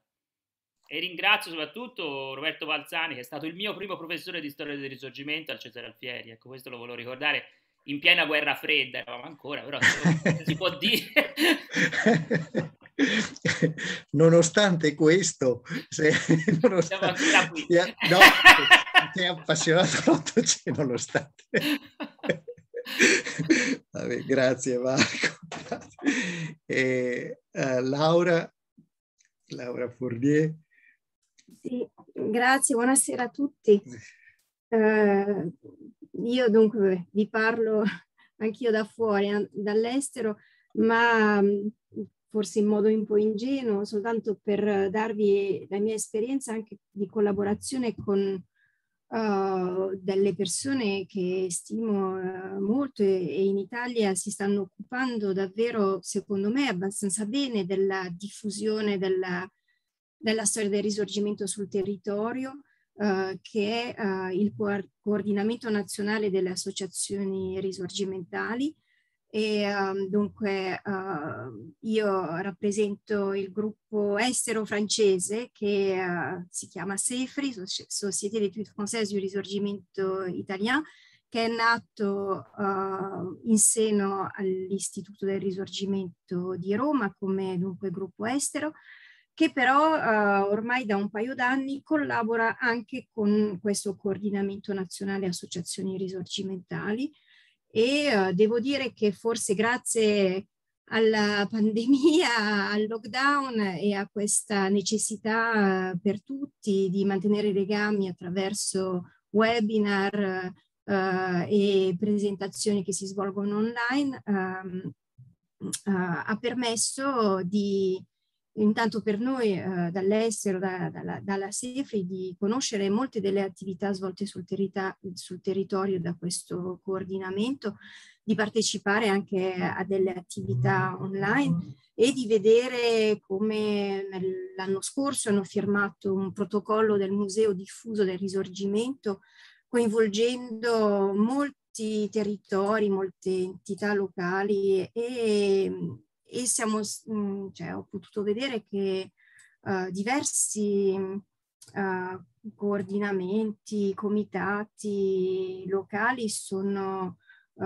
anche gestiti da giovani, giovanissimi studiosi, anche fuori dall'accademia, come diceva Stefano, e penso che queste realtà esistono e, e tutte meritano di essere, di essere valorizzate anche uh, con un discorso turistico di sviluppo del territorio a partire anche uh, dalle loro attività si possono creare appunto questi percorsi e, e valorizzazioni di, dei diversi monumenti, dei reperti, delle ex deputazioni di storia patria e penso che ci sia comunque un futuro per il, il risorgimento diffuso e, e, e, nella società. Ma forse sono troppo ottimista perché mh, mm, ho questo mito dell'Italia dall'estero che non visito più da quasi due anni. Grazie Laura, eh, io ti ringrazio davvero perché eh, sei un'infaticabile organizzatrice eh, di attività e di ricerca e, e, a nome di tutti i risorgimentisti italiani ti siamo davvero grati per quello che stai facendo e per la passione che ci metti. Quindi grazie ancora di tutto e speriamo di poterci vedere presto. E adesso Luca, anima della rassegna storica del risorgimento, e che ci racconterà anche della rassegna. Sì, no, eh, io vi, eh, grazie eh, Roberto. Sì, eh, beh, la rassegna, eh, adesso ci arrivo, però volevo partire da un presupposto, appunto, che mi sembra che, eh, che oggi noi viviamo un po' un decalage, no? un oiato paradossalmente, tra una storiografia del risorgimento, sul risorgimento dell'Ottocento politico italiano che è andata molto avanti e in questi ultimi 20-30 anni si è largamente trasformata, l'abbiamo detto in, in altri momenti di questo seminario, e, e, io credo che sia abbastanza in connessione paradossalmente con temi, questioni eh, della contemporaneità e, e, che fa uno sforzo di connettere questo 7-800 con il tempo presente, perché poi alla fine eh, il risorgimento può tornare ad interessare se noi riusciamo a spiegare quanto eh, quel momento è connesso con quello che, che, noi viviamo, perché se no è ovvio che diventa una roba antiquaria e, e diventa poco interessante. Io credo che la storiografia eh, oggi sull'Ottocento, eh, sta eh, riuscendo, riesce abbastanza, certo poi con, eh, i limiti ci sono sempre, però ha fatto un grande sforzo in questa direzione. E, però eh, questo sforzo effettivamente ancora ha delle ricadute e delle ricezioni limitate su un più grande pubblico perché effettivamente quando anche tu prima Roberto facevi riferimento a questa assunzione di ruolo che i Presidenti della Repubblica hanno avuto nel discorso storico poi pubblico del risorgimento di fatto, oltre che a diventare un po' i numi tutelari del vittoriano eccetera, ma anche proprio discorsivamente, no? cioè il discorso pubblico sul risorgimento in fondo l'hanno fatto Ciampi e poi l'ha fatto Napolitano, meno, eh, meno Mattarella per motivi probabilmente anche culturali, di, di, di cultura politica cui proviene e, e via discorrendo correndo.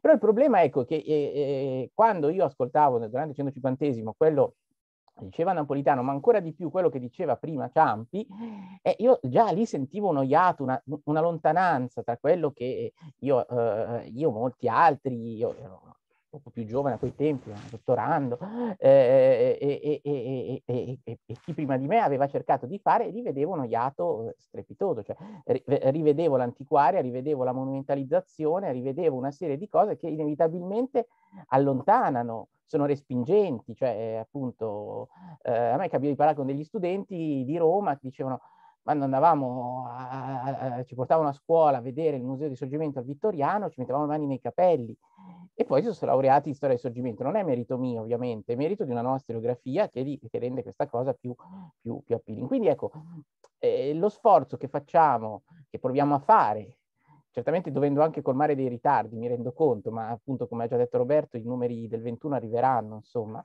è proprio quello, cioè di, di mettere a disposizione la rassegna storica del risorgimento,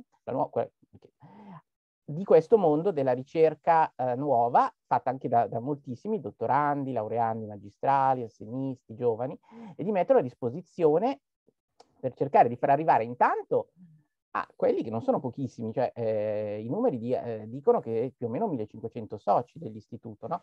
Abbiamo dovuto ristampare la, la, la rassegna del, dei due numeri del 20 perché ne avevamo stampati solo 1200 copie, poi altre persone si sono iscritte intanto, quindi adesso ne, ne, ne stampiamo altre 200-300 per arrivare a, a, questi soci. Quindi la rassegna, eh, questo eh, innanzitutto eh, abbiamo un po' interpretata tutti noi in questo modo, cioè come un eh, luogo dove far, eh, mettere a disposizione e far eh, diciamo, confluire eh, tutta questa vivacità mh, mm, che c'è nella, nella storiografia, c'è a, a, tanti livelli e che c'è ormai anche dal, diciamo, dai primi, dai livelli più, più, più, bassi, quelli degli studenti che si laureano, gli studenti che fanno dei dottorati, delle, mh, dei dottorati di ricerca.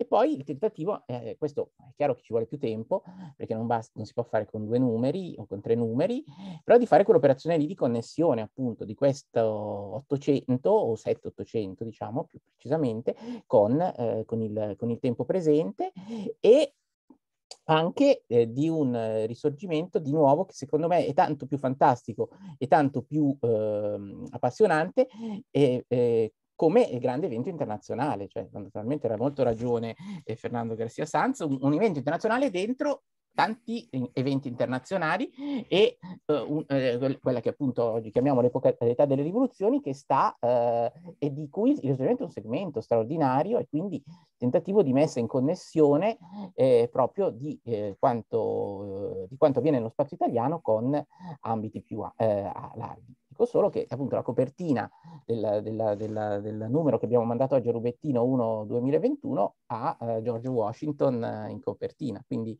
eh, per cercare di mettere in evidenza e parte da una stampa, tra l'altro appunto non a caso conservata al, al Museo di Sorgimento, che è uno dei primi eh, ritratti europei eh, di eh, George Washington, di, eh, ritratti immaginari, perché la, tutta la prima iconografia europea di George Washington è una eh, iconografia ehm, eh, immaginaria, di fantasia, comincia con i ritratti dal vero solo quando Lafayette porta con sé il primo ritratto dal vero, e, e questo è un modo, un tentativo anche questo appunto di, di dire che quello che succedeva di là arrivava di qua, si connetteva e, e quindi eh, nasceva la politica contemporanea, moderna, da una parte e dall'altra dell'oceano, in sostanza l'oceano Atlantico, e, di cui, e, e questo spazio italiano era una, una, uno scenario. Ecco, io credo che cercare di, di, eh, di, di colmare questo iato e, e, cercare di promuovere e di connettersi sempre di più, ma cioè, noi dobbiamo connetterci, però bisogna anche che, che, che, che che, altri, cioè, che, ci sia qualcuno che vuole connettersi con noi eh, e con questo tipo di racconto diverso del risorgimento, perché se no eh, noi possiamo sempre autoflagellarci, dire che non scriviamo, però poi abbiamo anche bisogno che, che, di, di, di, di, connetterci noi, ma che qualcuno voglia connettersi. Noi ci proviamo e proviamo a mettere a disposizione tutti, tutti questi materiali. Grazie, scusate se sono stato lungo. No, grazie, anzi per, era opportunissimo quello che, quello che, hai detto.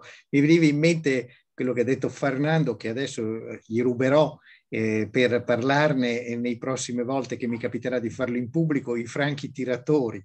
E noi siamo soggetti ai franchi tiratori, quindi abbiamo questo rischio come storici più di altri, eh, probabilmente più di altre di discipline, no? perché usiamo una lingua che è quella apparentemente discorsiva di tutti i giorni e quindi non abbiamo diciamo, il, eh, neanche la barriera eh, lessicale che protegge o formale che protegge delle altre, delle altre discipline, ma questa è anche la nostra grande opportunità, il nostro grande dovere nella costruzione della cittadinanza, ovviamente.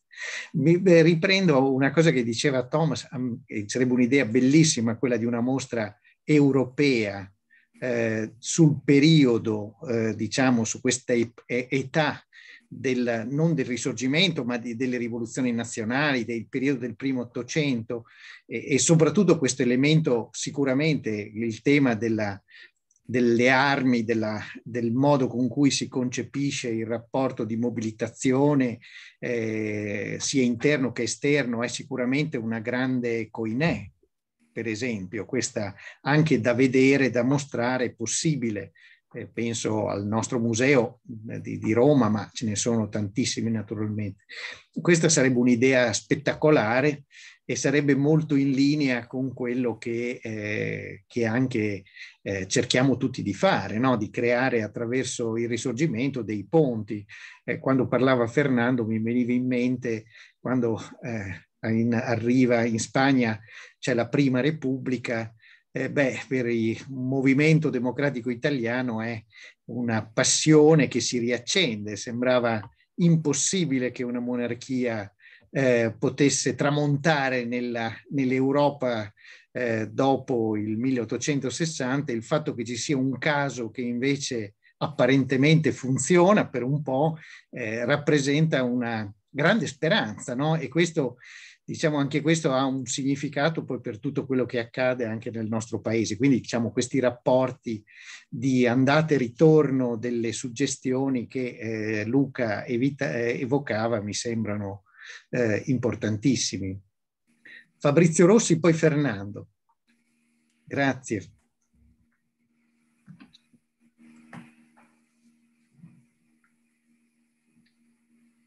Non si sente perché non hai acceso. Ecco, scusami. Ci Buonasera prego. a tutti, agli amici che un po' che non ci vediamo. Fa molto piacere rivedervi e rivederci. No, volevo proprio dire una cosa io a proposito dell'intervento di Fernando Sanchez, che mi ha molto colpito e vorrei farlo un, un po' dialettico il mio intervento per vivacizzare un po'. Eh, mettendomi sulla scia di, di, di Fernando, io riprenderei il tema del conflitto interno, no? La categoria che lui ha usato per la Spagna. Ecco, quel conflitto interno, secondo me, e mi riaggancio alla tua piccola provocazione del 92 e 2011, quel conflitto interno, secondo me, ancora in qualche modo sotto traccia rimane anche nella nostra storiografia. E ti faccio due esempi. Ci ricordiamo gli anni 90, la Lega, il tema del secessionismo, Lì la storiografia marxista si dimentica completamente di Molfese. Completamente. Perché questo? Per un approccio politico. Quindi l'avvertenza che fa Fernando sulla storia legata alla politica è uno dei temi, secondo me, che fa sì che sia il romanzo storico, che tanto è un racconto, a essere prevalente sulla storia politica, sulla storia politica ma non legata alla politica. Questo è un punto cruciale per riacquistare credibilità. Cioè usiamo una parola difficile e ostica e magari da non usare mai troppo spesso, scientifica, ma usiamola. Allora qui per esempio mi viene nel 2011 il discorso di Banti, il discorso di Banti con grande arricchimento, apripista, sentimento, emozioni, eccetera, ma la rivoluzione passiva di Gramsci è in soffitta. Qualcuno lo ha notato, no? Macri ha fatto un intervento su questo dicendo attenzione, non è che improvvisamente il, il, il risorgimento diventa di massa, eh, perché se no non è più d'elite o comunque bisogna discuterne. Poi, terzo punto, i temi, come diceva Kroll, i temi li deve avanzare la ricerca storica. E allora e chiudo, per esempio, che sono un po' gli studi che faccio io. Per esempio, sull'Ottocento ci vogliamo interrogare, come dice Meriggi, sul secolo monarchico ancora? Oppure ci vogliamo misurare con la famosa confederazione che viene sbrigativamente finita col 29 aprile 48? Vogliamo fare un discorso sulle costituzioni, per esempio il filone spagnolo di Cadice che è trascurato rispetto all'orleanista? Quando nel 48 la Sicilia è ancora tutto sommato sul filone di Cadice? Cioè tutti questi temi qua, secondo me, se vengono affrontati con analisi storiche approfondite, possono arricchire la storia del risorgimento rendendola nuova, rendendola nuova, vivace, non con il, i famosi no, eh, eh, eh, luoghi comuni. Quindi il tempo presente di Gianluca va benissimo, ma con tutte queste avvertenze e con questi approfondimenti. Ecco, volevo gettare questo sasso nello, spagno, nello, nello stagno perché Fernando, secondo me, ha detto cose giustissime. Grazie. Grazie, grazie Fabrizio. Eh, passo la parola a Fernando e poi ad Andrea per due parole conclusive presidenziali, diciamo così. Cioè, diciamo, grazie Fabrizio, grazie per il tuo intervento. E sì, sono d'accordo, anche in Italia dobbiamo essere attenti alla, alla permanenza del conflitto interno. Ma ehm, figurati che eh, in Spagna il conflitto interno rimane anche negli studi di politica estera. Cioè, eh, non è comparabile, cioè la produzione eh, storiografica italiana non è comparabile con quella spagnola. No, assolutamente, assolutamente no.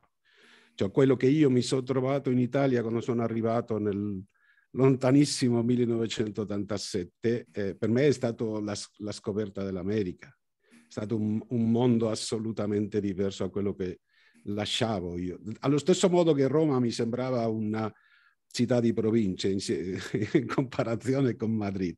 La, la, ricchezza storiografica, tantissime riviste, una produzione incredibile, mh, non ha paragone con, eh, con, con quello che, che, succedeva in Spagna, anche perché durante 40 anni avevamo avuto una dittatura che non ci permetteva altro che pensare alla gloria dell'impero e, e poco di più. Anzi, l'Ottocento per la dittatura politicamente era un secolo mh, cattivo, perché era il secolo che aveva sviluppato il liberalismo, cioè il marxismo, per, per conseguenza, no?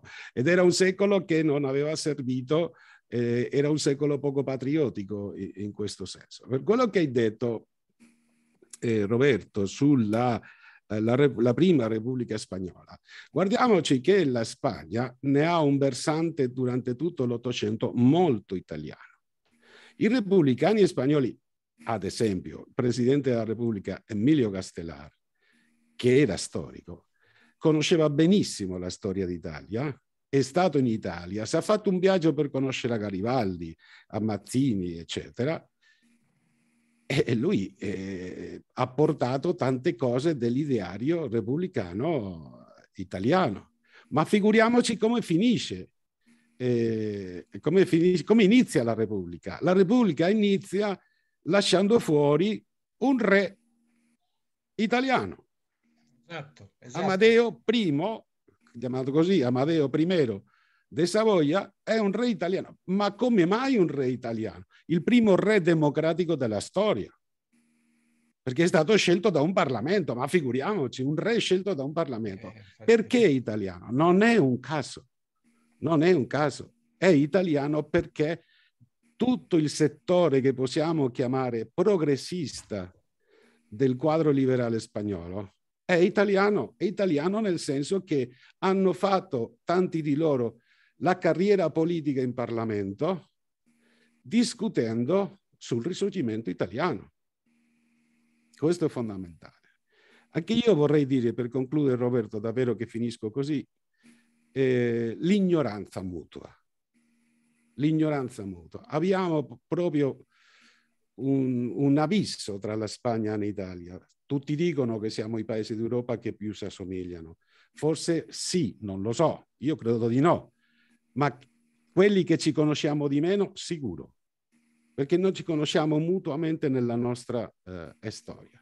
E vi racconto un aneddoto. Quando io eh, mancavano 3-4 giorni per, pubblic- per, eh, per, fare la pubblicazione ufficiale, il giorno d'uscita di un libro che ho fatto sulla, sulla Grande Guerra, il capo dell'editoriale una editoriale che è di una certa rilevanza, eh, mi ha invitato a cena per parlare del libro. Evidentemente lui aveva letto il libro, mi sono rimasto molto sorpreso. E dice, prima di tutto volevo farti una domanda, Fernando. Perché mai un'attenzione così importante all'Italia nel libro? E io l'ho detto, senti, tu che ne sai della storia d'Italia? Lui mi ha detto, nulla. Dico, allora? Cioè, ma dico la prima guerra mondiale che forse è una cosa che più delle altre sommessa sullo stereotipo, anche sul ruolo della Spagna. Ma possiamo dire qualsiasi altro argomento. Ma gli stessi spagnoli, come gli stessi italiani, purtroppo non conoscono la sua storia. E insisto, dobbiamo andare per strada a cercarli e a spiegarli perché è importante conoscere la storia. Perché? Perché è interessante e perché è così divertente la storia. Ma così come di solito parliamo noi tra noi, non abbiamo niente da fare. È cambiato tutto, è cambiato tutto, assolutamente tutto. Anche noi dobbiamo e possiamo cambiare. Grazie. Grazie ancora eh, anche per questa conclusione perfetta, direi, grazie a a Thomas, a Marco, a Stefano, ancora a Fernando e a tutti gli altri amici che sono intervenuti e direi che l'orario eh, delle due ore dobbiamo stare in questi termini, eh, credo, eh, necessari per, per, rendere la cosa, eh, diciamo, gestibile attraverso questo mezzo e quindi passo la parola ad Andrea per eh, una, per, un, per una piccola riflessione conclusiva. Ringrazio ancora Marco eh, Marco Maria Terrano per eh, la sua eh, competenza. Bene, grazie, grazie a tutti, grazie Roberto, grazie a tutto il gruppo di lavoro eh, di questo ciclo di seminari, grazie naturalmente alla Sisco, grazie a Marco e a tutti gli altri che hanno contribuito. Vorrei però non dire alcune parole conclusive, ma eh, invece rilanciare l'idea di un ragionamento comune, magari anche in sede Cisco, perché il tema che eh, abbiamo affrontato in questi seminari, forse oggi Roberto, eh, diciamo, eh, effettivamente siamo riusciti a tenere insieme tutti gli argomenti che abbiamo affrontato. Ma qui centro c'è il tema eh, sul quale inizialmente proprio insieme, io e te ricordo appunto ai seminari Cisco eh, a Modena avevamo, avevamo in qualche maniera individuato, e cioè le grandi opportunità e le difficoltà presenti nel nesso tra ricerca storica e società. Credo che Qui tutti oggi hanno richiamato l'importanza della ricerca. E Thomas in particolare, se mi permetto di dire, alla fine diceva bisogna fare ricerca concreta, analitica. E diceva anche Fernando eh, che appunto sottoline sottolineava la specializzazione mettendo, riprendendo le cose dell'ultimo seminario che appunto aveva eh, guidato Arianna non adattarsi alle mode, non adattarsi ai franchi tiratori, forse non sapremo nemmeno farlo, ma invece fare buona ricerca. Io credo che la ricerca, eh, dunque la storiografia che ne, che ne è il prodotto, sia buona o cattiva. Buona o cattiva. Ci può essere una nuova buona ricerca, ci può essere una nuova cattiva ricerca.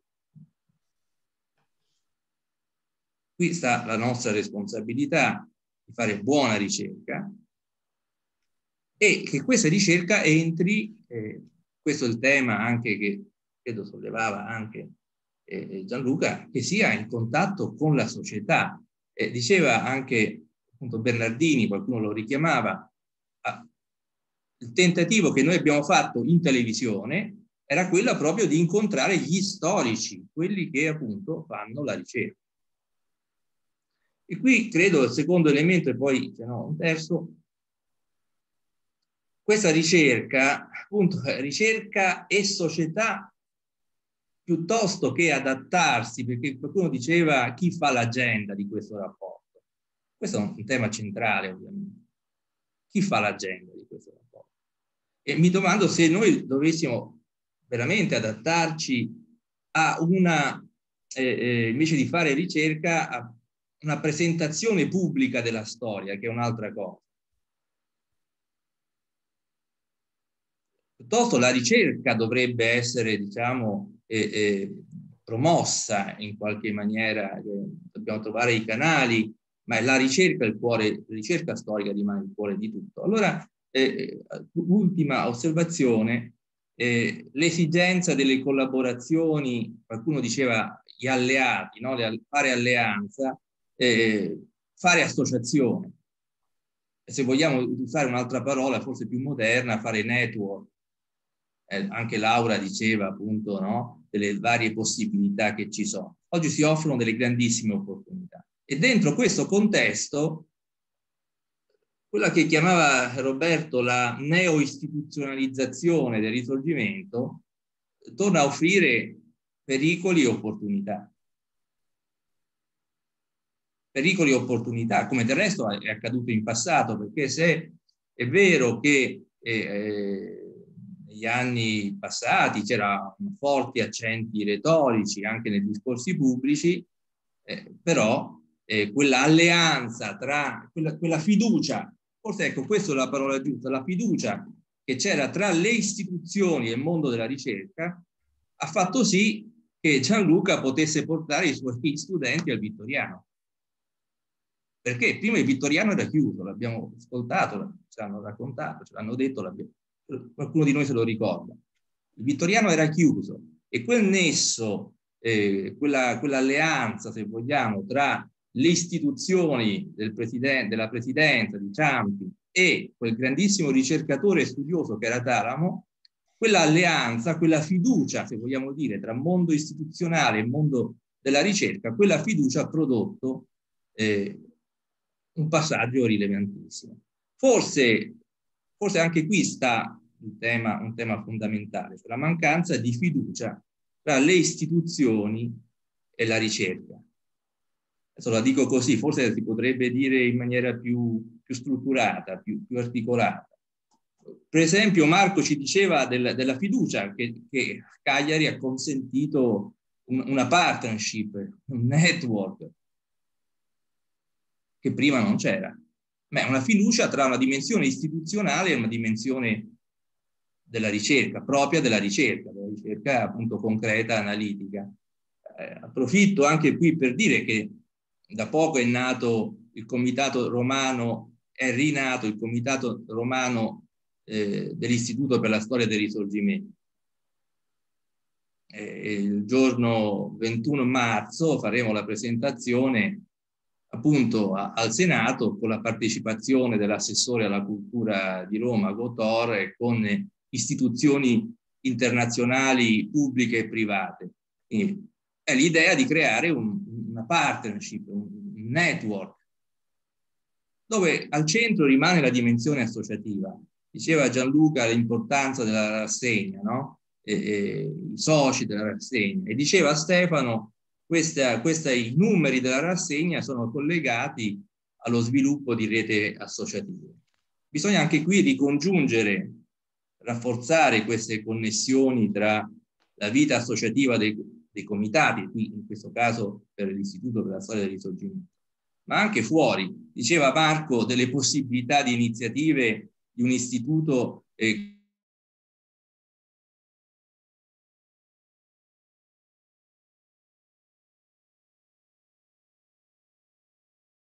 del, del, tessuto urbanistico come strumento no? eh, della possibilità di raccontare il risorgimento. Tant'è vero che appunto quando faremo la presentazione del comitato faremo una riflessione per esempio sulla, sul monumento a Mazzini che è, che è a Roma, sulla storia del, del monumento a Mazzini. Ma appunto sempre con questa connessione, con, con, questa fiducia tra la dimensione pubblica e la dimensione privata, tra la ricerca e le istituzioni. Se si rompe questo rapporto tra ricerca e istituzioni, è difficile non solo fare eh, ricerca storica in generale, ma tanto più ricerca per la storia del risorgimento.